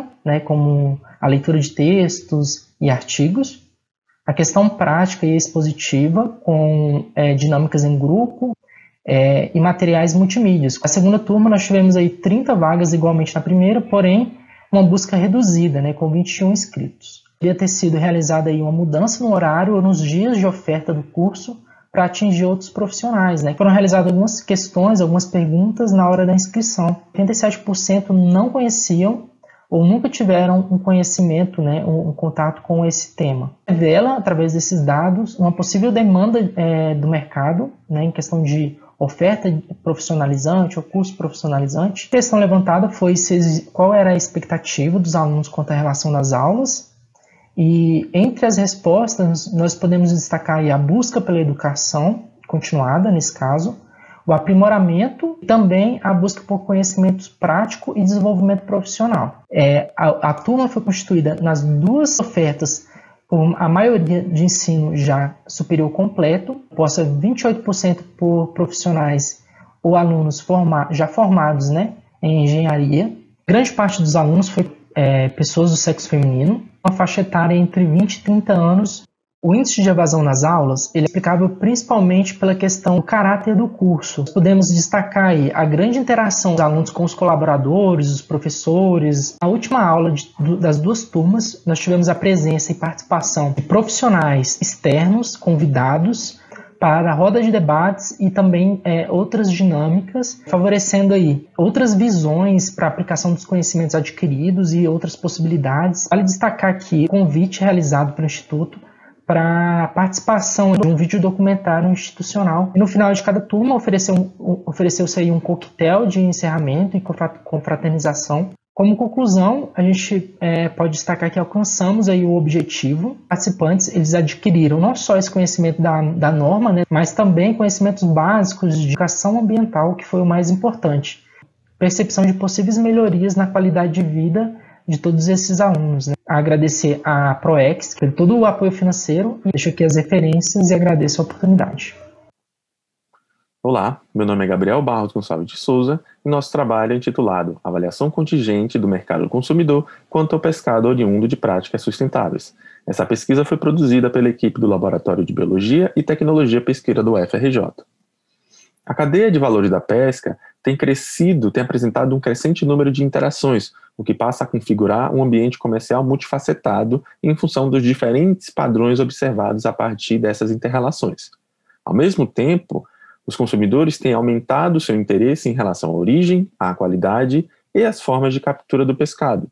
Nesse sentido, entender essas preferências de consumo pode auxiliar nas estratégias de regulação relacionadas às formas de captura e comercialização do pescado. Assim, o objetivo desse trabalho foi avaliar o potencial e aceitação do mercado consumidor em adquirir pescados extraídos de sistemas sustentáveis de exploração pesqueira. Para tal, nossa área de estudo foi o estado do Rio de Janeiro, em que inicialmente nós realizamos entrevistas presenciais em alguns municípios do norte do estado. Entretanto, em função das restrições e isolamento social impostos pela pandemia, nós passamos a, a usar uma estratégia de, remota de aplicação de questionários, em que durante dois meses nós disponibilizamos o mesmo questionário a partir do Google Forms. Esse questionário apresentava 27 perguntas que abarcavam aspectos sociais, econômicos e ambientais, bem como a disposição a pagar dos consumidores em relação a um pescado ambientalmente sustentável e socialmente mais justo. Nós observamos que no total obtivemos 458 respostas válidas, sendo que a maioria dos entrevistados eram pessoas do sexo feminino e que estavam numa faixa etária entre 30 e 39 anos. Além disso, 52% dos entrevistados tinham pós-graduação como escolaridade e também cerca de 60% das pessoas entrevistadas tinham uma renda individual acima de R$ 3.600. Nós observamos também a partir disso que os respondentes de maior renda, maior faixa de renda, tenderam a estar mais dispostos a pagar percentuais maiores pelo pescado, tanto ambientalmente sustentável quanto socialmente mais justo. Considerando especificamente os valores relacionados à disposição a pagar, nós observamos que grande parte dos entrevistados se dispuseram a pagar 10% a mais pelo pescado, tanto ambientalmente sustentável, quanto também 10% a mais pelo pescado socialmente mais justo. Os resultados gerados por esse trabalho poderão ser utilizados como subsídios para o manejo ecossistêmico da pesca, uma vez que demonstraram a viabilidade econômica de um aumento de rentabilidade do produtor, desde que associado a práticas que reduzam tanto o impacto social quanto ambiental da atividade pesqueira. Muito obrigado pela atenção. Até mais. Olá, meu nome é Vinícius Vanderlei, sou aluno do mestrado profissional em Engenharia Ambiental do Instituto Federal Fluminense irei agora apresentar para vocês um trabalho de modelagem computacional da bacia hidrográfica do rio Macaé, simulação de eventos críticos através da ferramenta Moid Lente. A nossa área de estudo é a bacia do rio Macaé. É, essa bacia está localizada na região hidrográfica 8, no norte do estado do Rio de Janeiro. Após diversas etapas de modelagem computacional, chegamos ao delineamento da bacia hidrográfica, com toda a rede de canais e rios aqui, conforme a figura 2. Ao final da nossa simulação, chegamos à, à elaboração deste mapa, como o comportamento de, do escoamento superficial ao longo aqui de toda a bacia hidrográfica. Como podemos observar, temos um escoamento superficial mais elevado nas regiões aqui de amarelo e vermelho, próximo à foz do rio Macaé. O modelo computacional elaborado mostrou-se adequado na primeira simulação e apresentou resultados satisfatórios. Pode-se ressaltar que os dados utilizados na simulação podem ser refinados com estudos mais profundos do uso e cobertura do solo, alterando assim o coeficiente de Manning ao longo da rede de drenagem e da bacia hidrográfica. Quanto ao dado de precipitação utilizado no modelo, constante no valor de 3 milímetros por hora, foi satisfatório para a simulação de um evento crítico de chuva, num período de 48 horas. Porém, estudos mais avançados da precipitação podem gerar resultados mais próximos da realidade, com modelos de chuva variando no tempo e no espaço. Conclusão: Os resultados alcançados indicam a viabilidade técnica de aplicação da simulação computacional com o uso do software Moidland como ferramenta de análise de chuvas extremas em bacias hidrográficas com formação complexa. Considerando a diversidade da rede de canais e das características do relevo do caso estudado de Macaé, conclui-se também que a, te que a técnica pode ser aplicada em qualquer bacia hidrográfica, com características semelhantes. Obrigado. Meu nome é Luísa Pessoa, vou apresentar o trabalho intitulado como Monitoramento do Badé de Mira, Misteroperca cutirostres e a importância da pesca artesanal na Baía da Ilha Grande, experiências na Estação Ecológica de Tamoios, Rio de Janeiro, Brasil. Inicialmente, vale salientar a importância da pesca artesanal para o contexto da região da Baía da Ilha Grande, que é onde a Estação Ecológica de Tamoios está localizada, e onde a gente fez o monitoramento do Badé de Mira, que é a espécie Misteroperca cutirostres, que tem uma importância muito grande social e econômica e histórica para a questão da pesca artesanal. E o nosso objetivo é monitorar a espécie Misteroperca é, o Badé Jumeira, nas áreas internas e externas da Estação Ecológica de Tamoios, ESEC Tamoios, investigando possíveis variações na abundância, além de contextualizar a importância da Estação Ecológica para a proteção de espécie alvo da pesca. Aqui a gente tem um mapa das áreas que foram monitoradas, vale salientar que esse trabalho é feito num contexto de monitoramento mais amplo, onde o monitoramento é feito é, de mais de uma espécie, né, aproximadamente 48, e eu trago aqui para conversar especificamente uma espécie, que é o badejo. Mas o monitoramento é feito nessas três ilhas, Ilha Araraquara, Ilha Sandre e Ilha Comprida. A bolinha azul é Araraquara, a bolinha verde é Sandre e a bolinha vermelha é Ilha Comprida. Sandre é uma ilha totalmente protegida pela Estação Ecológica de Tamoios. Ilha Comprida é desprotegida, ela não faz parte da área da estação. E Araraquara é parcialmente protegida porque lá existe um termo de compromisso com pescadores artesanais da região. E aqui a gente tem como resultado um gráfico, os dados são jogados numa plataforma do Excel e a gente faz o cálculo. E também trazendo a perspectiva da, do desvio padrão, né, que é essa linhazinha em cima das barras, e a gente consegue perceber uma tendência da espécie de aparecer em maior quantidade e mais vezes na Ilha Sandre, que é a ilha que faz parte da Estação Ecológica de Tamoios. Apesar de a gente conseguir enxergar essa variação no gráfico, ela não é estatisticamente comprovada, porque a gente precisa de mais tempo de campo, né, de mais trabalhos de campo, de mais análises com uma maior escala temporal. Então, a gente não observa diferença significativa entre as ilhas protegidas e desprotegidas, estatisticamente falando, mas é possível observar que a espécie ocorreu de maneira mais regular ao longo das estações do ano nas ilhas da ESEC, especialmente a Ilha Sandre. Vale salientar a importância de conversar sobre o efeito de espalhamento, entender a Baía da Ilha Grande como um ambiente de múltiplos usos, na verdade, um território de múltiplos usos, com vários atores sociais, e isso só reforça a importância da estação ecológica de Tamoios para a região, além de apresentar uma necessidade muito grande de pensar trabalhos com essa questão mais social. Aqui a gente tem as referências e muito obrigada. Bom dia a todos, meu nome é Fernando Carlos da Silva e meu trabalho é sobre o diagnóstico ambiental do baixo curso do Córrego dos Pilões, Três Rios, Rio de Janeiro. O bairro dos Pilões vem sofrendo com a urbanização desenfreada, que traz diversos impactos negativos para o bairro, inclusive a pressão nos corpos hídricos. Em amarelo, nós conseguimos ver a APA do Vale do Morro da Torre. Em vermelho, a bacia hidrográfica dos Pilões. E em azul mais escuro, a drenagem principal do Córrego dos Pilões, onde o nosso trabalho é, teve enfoque no baixo curso. O objetivo do, do, do nosso trabalho é realizar um diagnóstico ambiental visual que possa mostrar para a gente a dimensão dos reais impactos que estão acontecendo nesse corpo hídrico e, assim, propor medidas de conservação e recuperação é, visando a melhora da qualidade da água e da quantidade e também da qualidade de vida da população local.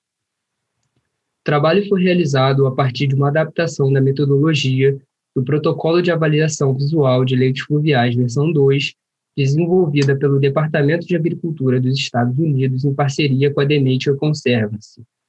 É, foram selecionados oito pontos representativos baixo, nesse baixo curso do córrego, e de, nesses oito pontos foram analisados oito, nove elementos, Condição do canal, aparência da água e condição da vegetação ripária são um deles. É, esses elementos foram pontuados de 0 a 10, onde 0 era a pior nota e 10 a melhor nota.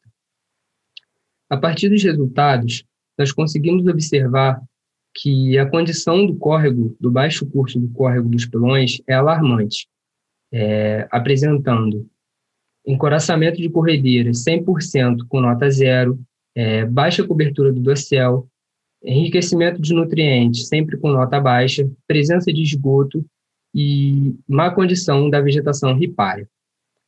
Com isso, podemos observar que o baixo curso do córrego dos pilões apresenta situação alarmante, onde a população pode acabar é, se contaminando com, por patógenos e tendo problemas de saúde. Então, é fundamental é, que haja uma recuperação é, tanto das áreas de preservação permanente, das APPs de rios e de nascentes, e também uma cobrança do poder público é, para que essas medidas sejam tomadas. É fundamental, portanto, é, o trabalho da avaliação é, visual, trazendo para a gente é, todos esses problemas que, são, que acontecem no Rio e tendo como obje, obje, é, principal objetivo propor essa medida de recuperação das matas ciliares.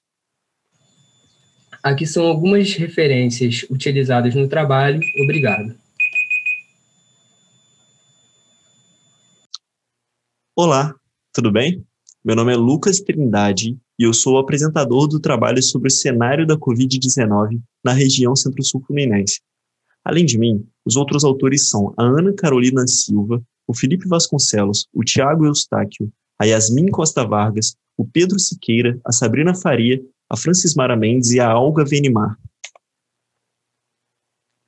Como sabemos, o Covid-19 foi declarado uma pandemia pela OMS a partir do dia 11 de março de 2020.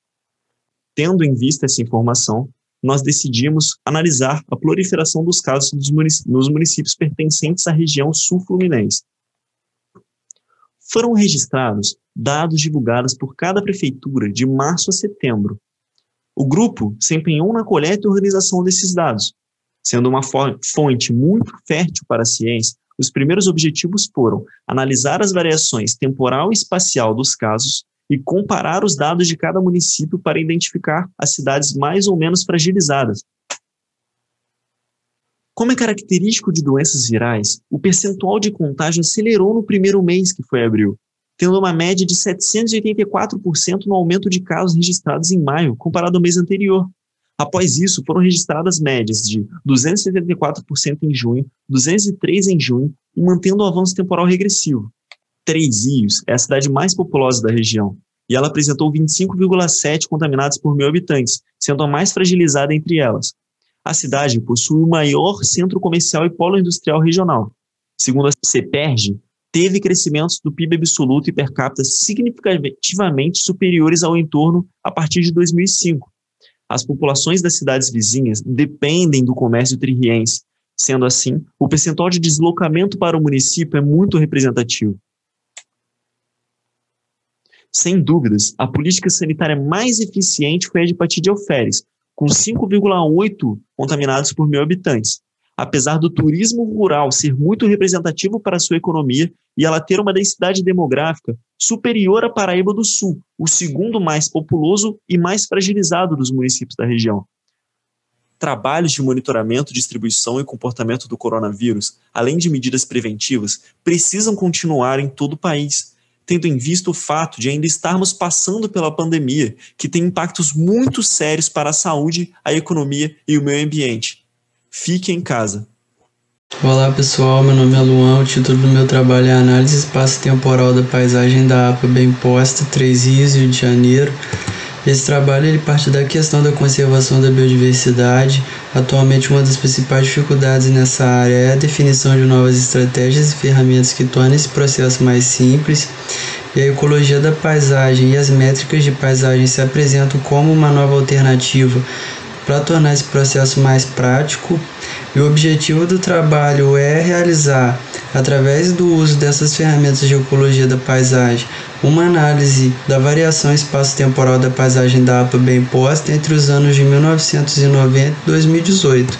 Essa é a nossa área de estudo, a APA bem posta, ela é a maior unidade de conservação do município de Três Rios, ela abrange aproximadamente 60% do território do município foi criada no ano de 2012 através de um decreto municipal. A metodologia que nós aplicamos no trabalho envolveu a obtenção de cartas de uso e cobertura do solo a partir de dados do MAP Biomas para os anos de 1990, 2000, 2010 e 2018 e através do uso de sistemas de informações geográficas foram aplicadas métricas de paisagem. Essas métricas elas foram agrupadas em métricas de área e borda, métricas de forma, métricas de interior e métricas de agregação.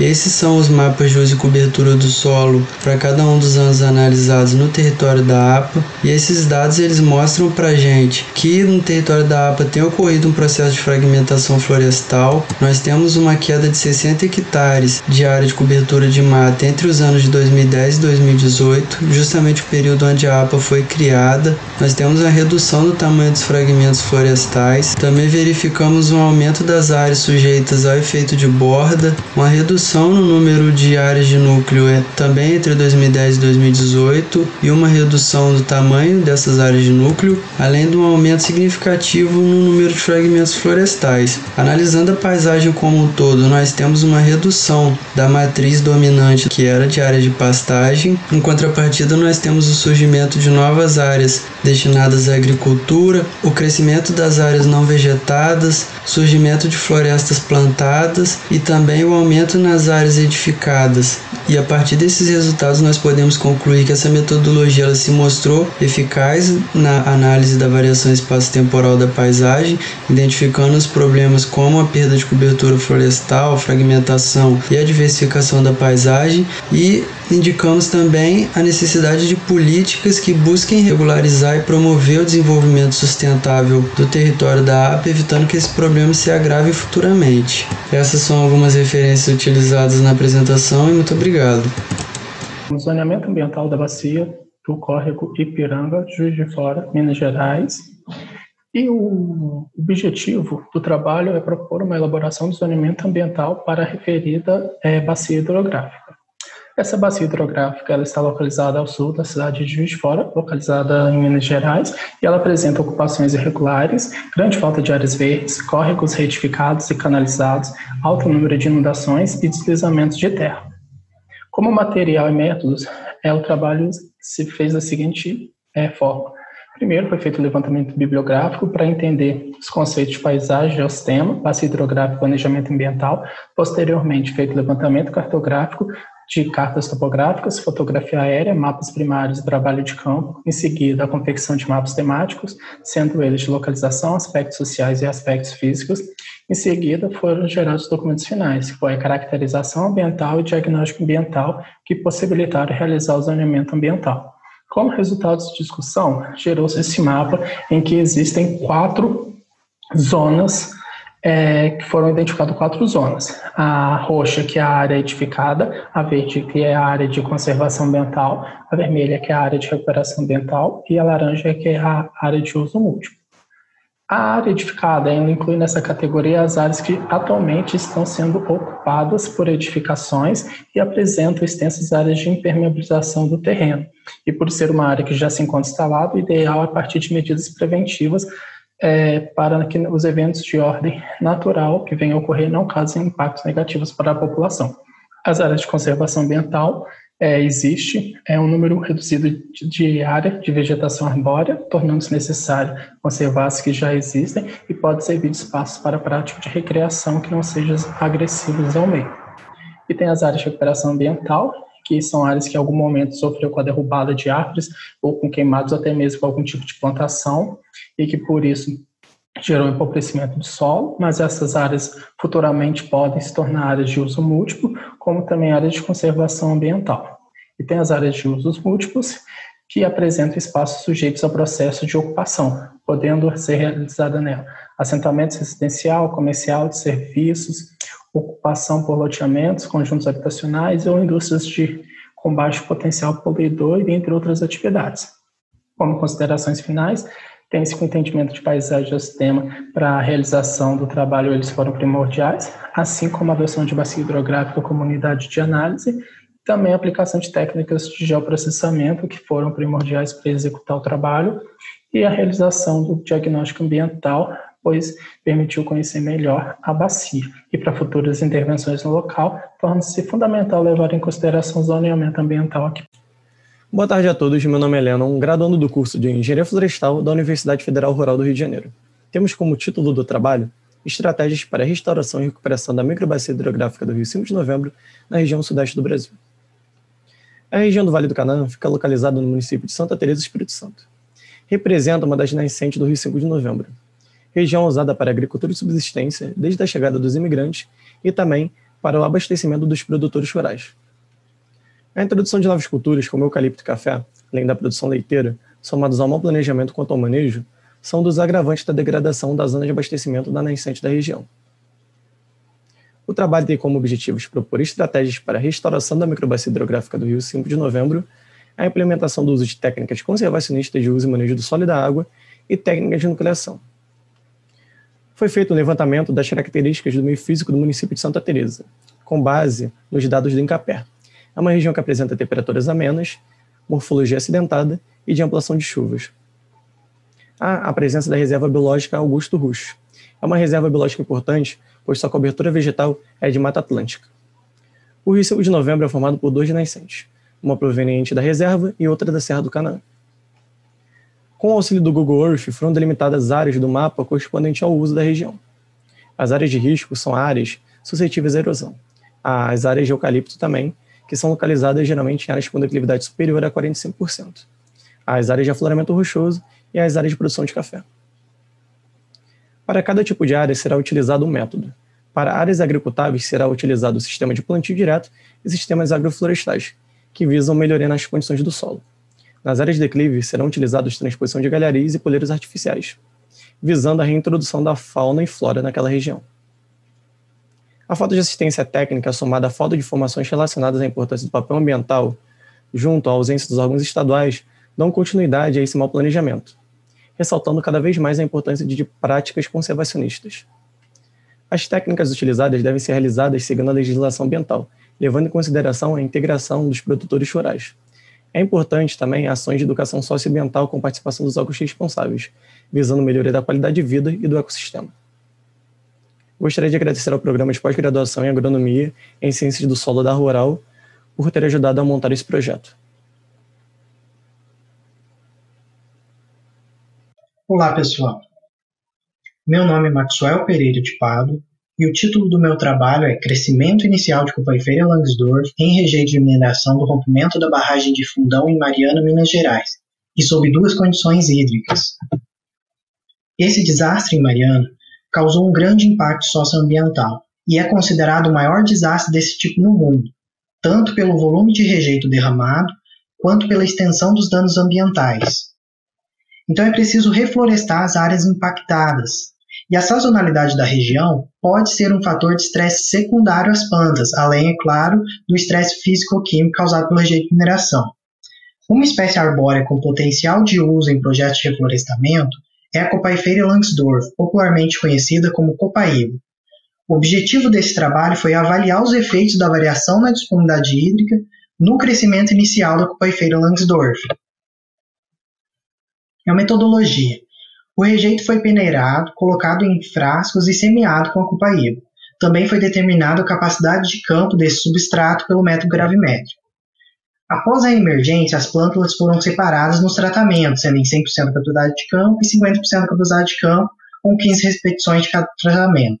O experimento ocorreu em sala de crescimento, com temperatura de 27 graus Celsius, fotoperíodo de 12 horas e umidade relativa em torno de 60%, durante 30 dias. O crescimento do caule e o número de folhas foi aferido semanalmente. Ao final do experimento, as raízes foram lavadas, foi medido o comprimento da maior raiz e calculado a área foliar de cada planta. Uma amostra foi separada para futuras análises anatômicas, além disso, foi aferido também as massas frescas secas do caule, folhas e raízes. Dos principais resultados, a altura do caule foi maior nas plantas em 50% da capacidade de campo, e o número de folhas não diferiu significativamente. O comprimento da maior raiz foi quase o dobro nas plantas em 50% da capacidade de campo, e a área foliar também foi maior nessa condição.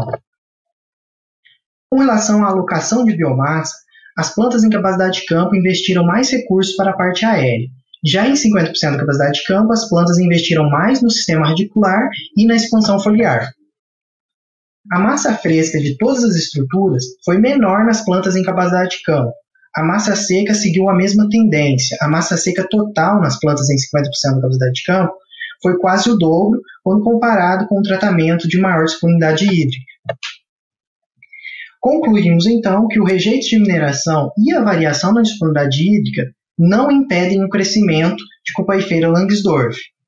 Essa espécie, portanto, possui potencial para o uso em projetos de reflorestamento das áreas afetadas. Essas foram algumas das referências utilizadas. Muito obrigado. Boa tarde, meu nome é Luiz Paulo Osório Escolfo, eu sou um dos autores do projeto A Urbanização e suas implicações na bacia hidrográfica de Nova Venécia. Os outros autores são Gabriela Loivos e Edil Carlos Lopes Lemos. Segundo o NIR, 1983, os impactos da ação humana sobre o relevo existem desde que o homem surgiu na Terra, Porém, atualmente o impacto é muito maior em função da onipresença e limitada escala de ocupação humana na superfície. O processo de urbanização pode gerar impactos no relevo, como mostrado na figura 1, em que mostra a poluição do rio Tietê, e na figura 2, uma grande cidade da Europa que apresenta problemas de impermeabilização do solo.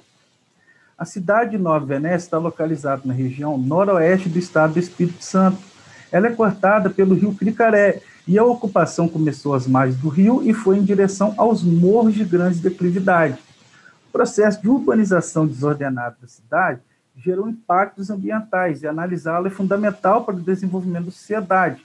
Como nessa imagem podemos verificar, as construções às margens do rio fez com que ele passasse praticamente canalizado pela área urbana do município.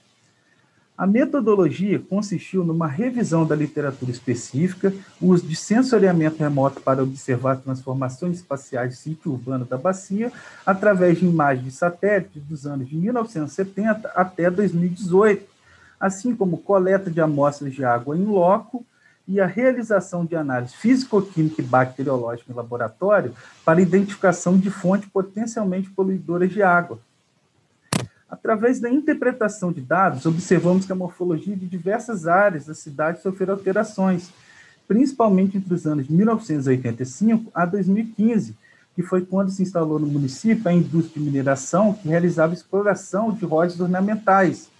Entre diversas alterações do relevo, destaque-se também o soterramento de nascentes e poluição de águas superficiais e subterrâneas, a figura 6, que possui uma seta vermelha, indica a existência de uma nascente em um lote no bairro Iolanda, onde está acontecendo o processo de urbanização. Já na figura 7, mostra uma construção em áreas com grandes declividades, alterando o relevo das vertentes. Quanto às análises das amostras de água, elas apresentaram condutividade média geral de 230,5 microsiemens por centímetro a 25 graus Celsius. Todas as amostras estão contaminadas por nitrato, podendo indicar que a poluição é recente ou a fonte poluidora está próxima ao corpo hídrico. E 99% das amostras estão contaminadas por coliformes fecais, possivelmente pela falta de saneamento em 90% da cidade, que despeja seu esgoto direto da rede de drenagem da bacia urbana. Essas são as referências. Muito obrigado e uma boa tarde. Olá a todos, eu sou a Daiane e eu venho em nome dos outros autores apresentar o nosso trabalho aqui no CIGAD. As outras autoras são a Cíntia, a Débora, a Isabela, a Flaviane e a Natália, e nós todas somos ex-alunos da Universidade Federal de Juiz de Fora. O nosso trabalho ele é intitulado Caracterização Geomorfológica Fluvial de parte do Rio Paraibuna, no município de Juiz de Fora, Minas Gerais, e ele foi realizado durante uma disciplina de Geomorfologia Fluvial da UFJF. Bem, o objetivo foi realizar uma caracterização geomorfológica fluvial de um trecho do Rio Paraibuna. Esse trecho se localiza no município de Juiz de Fora, em Minas Gerais. E a gente utilizou as quatro etapas na metodologia. A primeira foi uma organização e planejamento de um roteiro de campo. Esse roteiro ele serviu para a gente se planejar e organizar em termos de quais dias seriam os melhores, qual a metodologia, quais dados seriam levantados. E uma segunda etapa, essa etapa foi a prática de campo. Ela aconteceu nos dias 3 e 10 de março de 2013. E foi nesses, nesses dias que foram coletados os dados de profundidade, vazão e velocidade do rio. É, posteriormente, a terceira etapa foi a tabulação desses dados coletados e a quarta etapa foi o mapeamento do é, mapeamento, foram mapeamentos no caso é, de um modelo de digital de elevação e do uso e cobertura da terra com fim de identificar quais eram as características do entorno imediato ao rio e foi construído também um perfil topográfico. Bem, essa é a nossa área de estudo. É, o, o, nosso rio de estudo foi o rio Paraibuna. Esse rio, nesse rio a gente identificou um trecho e nesse trecho que foi analisado, ele foi dividido em seções. No caso, ele foi dividido em três seções. Esses foram os resultados encontrados. A gente constatou que em termos de área e largura, a seção 2 foi a maior seção, Porém, em termos de profundidade, velocidade e vazão dos rios, do rio no caso, né, perdão, a seção 3 foi a que apresentou os maiores valores para os cálculos hidrológicos. É, aqui estão algumas fotos dos pontos, é, de pontos né, do rio Paraibuna, e a gente constatou, com base nesses resultados, é, uma grande influência da ação trópica é, na área de estudo, a gente constatou que há uma forte influência antrópica, principalmente em termos de retificação do rio, é, fazendo com que algumas áreas sejam meandrantes e outras áreas não são meandrantes é, devido à retificação. A gente constatou também que a construção de uma represa, que se chama Represa Chapéu Dúvida, Dúvida Chapéu Duvas, perdão, ela tem influência direta é, no controle da vazão em algumas épocas, no caso as épocas de grandes cheias do rio, e a gente constatou, portanto, que o processo de produção do espaço ele vem influenciando diretamente nessa caracterização geomorfológica fluvial de alguns trechos do Rio Paraíba. Oi, prazer. Meu nome é Maria Júlia Tavares e eu vim hoje apresentar o trabalho de título Instrumentos para a Proteção de Recursos Hídricos em Unidades de Conservação, o caso do Parque Nacional da Tijuca. Acordo com o Sistema Nacional de Unidade de Conservação, também conhecido por SNUC, as unidades de conservação são territórios e seus recursos naturais, incluindo as águas jurisdicionais, que possuem características naturais relevantes e são instituídas legalmente pelo poder público em prol da sua conservação. Por isso, as unidades de conservação são tidas como um dos principais instrumentos para a conservação dos ecossistemas e redução da perda de biodiversidade, preservando inclusive os recursos hídricos locais. O Parque Nacional da Tijuca, como o próprio nome já diz, é uma unidade de conservação de proteção integral da categoria Parque. Ele foi criado como resultado de diversas medidas governamentais para a recuperação ambiental, ainda no século XIX, após uma crise hídrica na cidade do Rio de Janeiro, decorrente de uma grande devastação provocada pelo ciclo do café. A Política Nacional de Recursos Hídricos tem um papel importante na preservação da água, incorporando princípios, normas e padrões quanto à sua gestão, além de tornar obrigatório a outorga pelo direito de uso dos recursos hídricos, definindo inclusive que os valores os valores gerados através dessa cobrança devem ser implementados prioritariamente nas bacias hidrográficas em que eles foram gerados. Outro instrumento importante para a conservação das águas é a política do pagamento por serviços ambientais, o PSA. Essa política está baseada no princípio da, do direito ambiental, que é o usuário pagador e o provedor receptor, porém ainda não existe uma lei federal que estabeleça as diretrizes para o uso dessa política no país. Porém, no estado do Rio de Janeiro, onde encontra-se o Parque Nacional da Tijuca, foi implementado em 2011 o Programa Estadual de Pagamento por Serviços Ambientais, que estimula, mediante a garantia legal, a proteção das unidades de conservação do Estado, sendo fundamental para gerar fundos que podem ser implementados em ações de preservação. Por isso, pode-se dizer que uma melhor aplicabilidade da Política Nacional de Recursos Hídricos está relacionada com o Sistema Nacional de Unidades de Conservação, uma vez que aumenta-se a fiscalização quanto ao uso dos recursos hídricos e busca-se ampliar a corresponsabilidade entre a população e as organizações privadas com a proteção dessas áreas e seus recursos. Obrigada pela atenção, espero que. Olá, eu me chamo Felipe Ponciano e vou apresentar para vocês hoje o trabalho intitulado A Regionalização do Serviço de Saneamento Básico e os Desafios da Universalização do Brasil, uma análise exploratória de dados espaciais para os anos 2010 e 2018.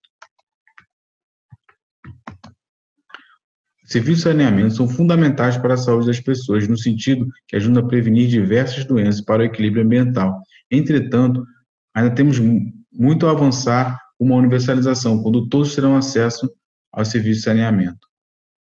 Nesse sentido, foi promulgada a Lei 14026, em julho de 2020, que, entre outros objetivos, incentiva a regionalização do serviço, ou seja, incentiva o agrupamento de municípios para a prestação conjunta dos serviços de saneamento. Nesse contexto, o objetivo do trabalho é verificar a existência de dependência espacial no serviço de abastecimento de água, coleta e tratamento de esgoto. Para tanto, utilizaremos a estatística global e de Moran para mensurar a autocorrelação espacial das variáveis. As variáveis utilizadas no trabalho são provenientes do Sistema Nacional de Informação do Saneamento, o SNIS, para os anos 2010 e 2018. São elas indicador de desempenho financeiro, índice de atendimento urbano de água, índice de atendimento urbano de esgoto e índice de esgoto tratado. Os resultados do trabalho indicam a existência de dependência espacial nos serviços de saneamento. Isso pode ser observado pelo mapa de cluster LISA, onde são, foram formados cluster baixo-baixo nas regiões mais pobres do, do país, ou seja, nessas regiões existem municípios com baixos índices de cobertura de saneamento cercado por outros municípios com baixos índices de cobertura de saneamento. Isso pode ser verificado é, para todas as variáveis utilizadas no trabalho. Assim, a conclusão que chegamos é que os novos blocos tendem a ser formados por municípios semelhantes com grande necessidade de expansão de serviços e baixa capacidade financeira, o que pode dificultar ou diminuir os benefícios da regionalização.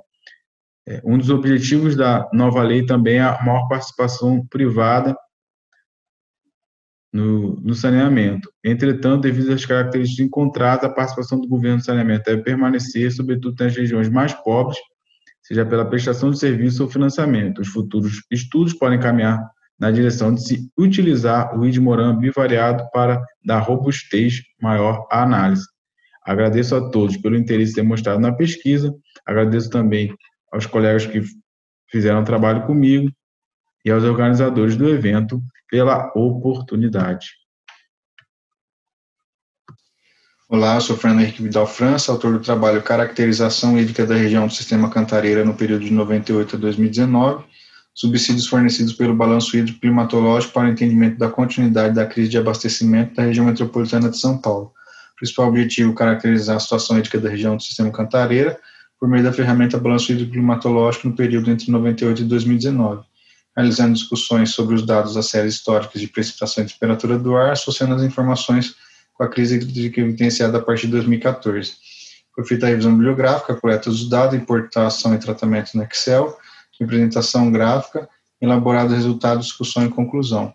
A área em questão possui 2.280 km, 45% está no estado de Minas Gerais, 55% no estado de São Paulo, formado por seis bacias hidrográficas, e na, no estado de São Paulo, duas unidades de gerenciamento de recursos hídricos abrangem o sistema Cantareira. É, a região metropolitana de São Paulo possui 39 municípios, 21 milhões de habitantes, o sistema Cantareira atende 46% dessa população, aproximadamente 10 milhões na cor avermelhada. O principal uso e ocupação do solo é para pastagens e áreas urbanas e também plantação de eucalipto. Em relação à precipitação, o período chuvoso é de novembro a março, o período de estiagem de junho a agosto. No período chuvoso de 2014 a 2019, foram observados 21% é, inferior às médias da série histórica e em 2014, 36% abaixo da média. Principal consequência é a diminuição das vazões afluentes ao sistema, problemas no abastecimento público, evidenciando a crise hídrica e a utilização do volume morto, que é a reserva técnica através do sistema de bombeamento. Em relação à temperatura do ar, foi observado valores de evapotranspirações elevados de novembro a março e também abril e outubro, confirmando a influência das estações.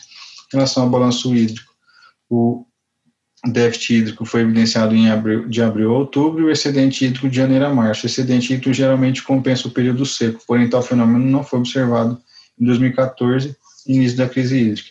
Foram observadas anomalias de precipitação e temperatura por Nobre e Etial, e o, a SOS Mata Atlântica, um estudo apresentou que resta apenas 21,5% da cobertura florestal nativa. Em relação à extensão do rio, 23,5% contra cobertação nativa, 76,5% alterados. Análise integrada do conjunto de dados é imprescindível para o objetivo maior de proteção das águas. O balanço hídrico é uma ferramenta possibilita conhecer a necessidade e disponibilidade hídrica de uma determinada localidade favorece as decisões em relação ao uso nacional da água e preservação. Sistema Cantareira, situação de déficit hídrico e de excedente hídrico a partir de 2014, período decrescente, culminando numa situação de crise hídrica, situação não normalizada pela permanência dos registros baixos de 2017 e 2018. Associação de estudos hidrológicos e outros que tratam da cobertura vegetal possibilita o melhor entendimento dos elementos que compõem a hídrica em questão. Muito obrigado. Olá, meu nome é Adolfo Oliveira Cravinho e estarei apresentando o trabalho Análise Estatística de Parâmetros de Qualidade de Água de um ponto do Rio Itabapuana, no período de 2014 a 2019. O Rio Itabapuana banha os estados de Minas Gerais, Rio de Janeiro Espírito Santo no Brasil, sendo responsável pelo abastecimento de inúmeras pessoas ao longo desses estados. O Instituto Estadual do Ambiente realiza monitoramento nos diferentes corpos d'água do estado do Rio de Janeiro, dentre esses, parte do Rio Itabapuana. Os resultados deste monitoramento representam dados sobre os ecossistemas aquáticos, cuja análise e interpretação são fontes de informações para tomar decisões e para acesso ao público. Porém, é comum que pesquisadores utilizem esses dados dos órgãos de monitoramento para realizar análises adicionais. Assim, o objetivo geral desse trabalho foi analisar estatisticamente parâmetros de qualidade da água disponibilizados pelo INEA de um ponto do rio Itabapuana entre os anos de 2014 e 2019, visando avaliar se os valores obtidos estavam em acordo com a legislação vigente e também verificar se houve diferença significativa entre os resultados obtidos nos biênios 2014-15 e 2018-19. Essa pesquisa foi dividida em algumas etapas. A primeira etapa, levantamento de dados disponibilizados no site do INEA em forma de boletins. Depois, a estação de monitoramento de Bom Jesus Itabapuana como ponto de estudo. Ah, por fim, análise estatística dos dados e comparação com a legislação vigente. Como resultado, foi possível identificar que, apesar da maioria dos parâmetros estar em conformidade com a legislação, o índice de coliformes termotolerantes está completamente em desacordo e com média elevada. Além disso, apenas para o pH houve diferença estatisticamente significativa, ao nível de 5%, entre os valores médios obtidos nos biênios avaliados. Como conclusão, diante desse resultado, é necessário aumentar o tratamento de esgoto nas cidades da bacia hidrográfica do Rio, visto que a poluição dos recursos hídricos compromete a qualidade e a possibilidade de uso das águas dos mananciais, o lançamento de efluentes de esgoto. O investimento em medidas de saneamento podem minimizar os impactos antropóficos causados pela geração de efluentes. Obrigado a todos. Olá, eu me chamo Jéssica Gonçalves, sou aluna do curso de Engenharia Sanitária Ambiental do UFPA.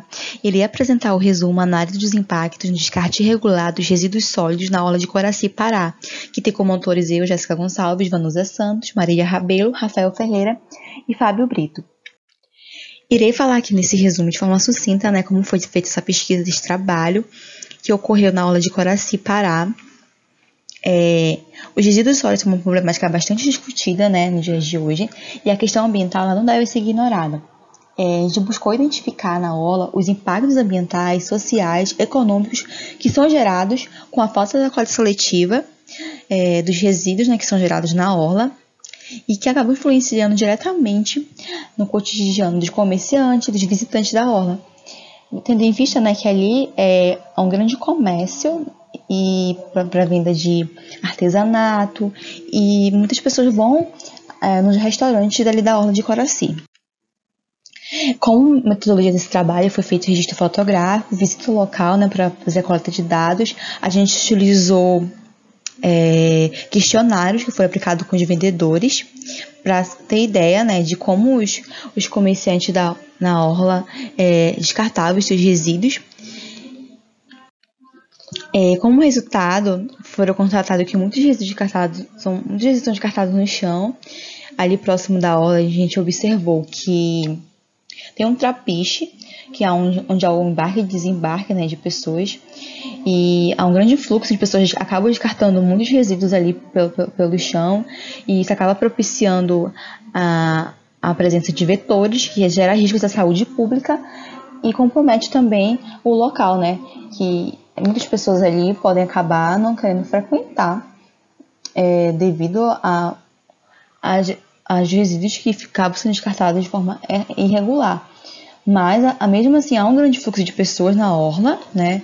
E as lixeiras elas não atendem suficientemente a população ali, os comerciantes e frequentadores dela.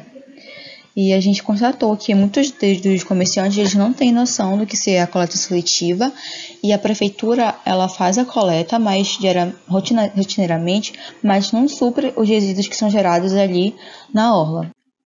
Então, diante disso, é necessário que se faça é, a aplicação de políticas públicas que realmente possam ajudar né, na, no gerenciamento de resíduos da orla para que ocorra a coleta seletiva. Então, uma parceria entre os comerciantes e o poder municipal para assim preservar o meio ambiente e propor soluções para beneficiar a orla e assim estar beneficiando os comerciantes e os frequentadores.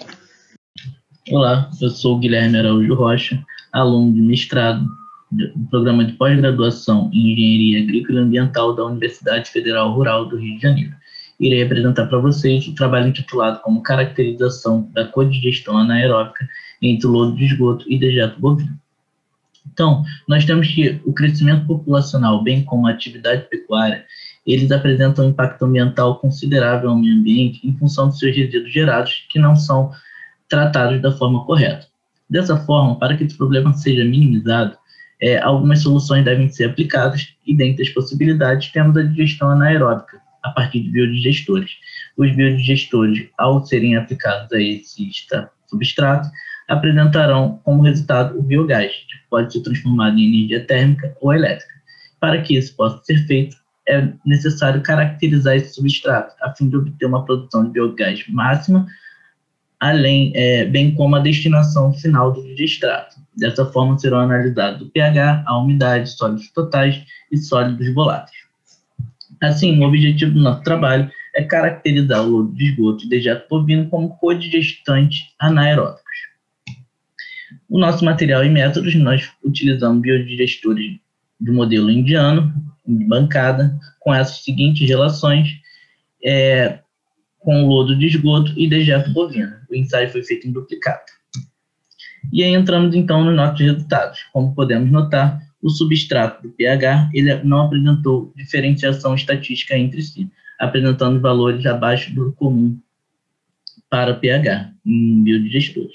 Já o digestato teve uma melhora e diferenciou-se estatisticamente entre si nos demais tratamentos, apresentando um valor dentro dos parâmetros, é, dentro dos parâmetros necessários entre 6 e 8 de pH. Já a umidade, é, os substratos eles diferenciaram-se entre si nas demais, nos demais tratamentos, porém estando dentro do, dos parâmetros necessários, próximos de 90%, uma média próxima a 90% de umidade. Já no digestato, é, apenas os tratamentos 100% lodo de esgoto, 75% lodo de esgoto, apresentaram é, correlação estatisticamente entre si. Isso pode ser dado pelo alto valor do, do lodo de esgoto nesses tratamentos. Já os sólidos totais e sólidos voláteis apresentaram uma redução, demonstrando eficiência na, na codigestão anaeróbica entre o lodo de esgoto e dejeto bovino, no que tange à degradação da matéria orgânica. Como conclusão, a partir dos resultados referentes à caracterização física e química, conclui-se que o lodo de esgoto junto ao dejeto bovino apresentaram-se como possíveis codigestantes anaeróbicos.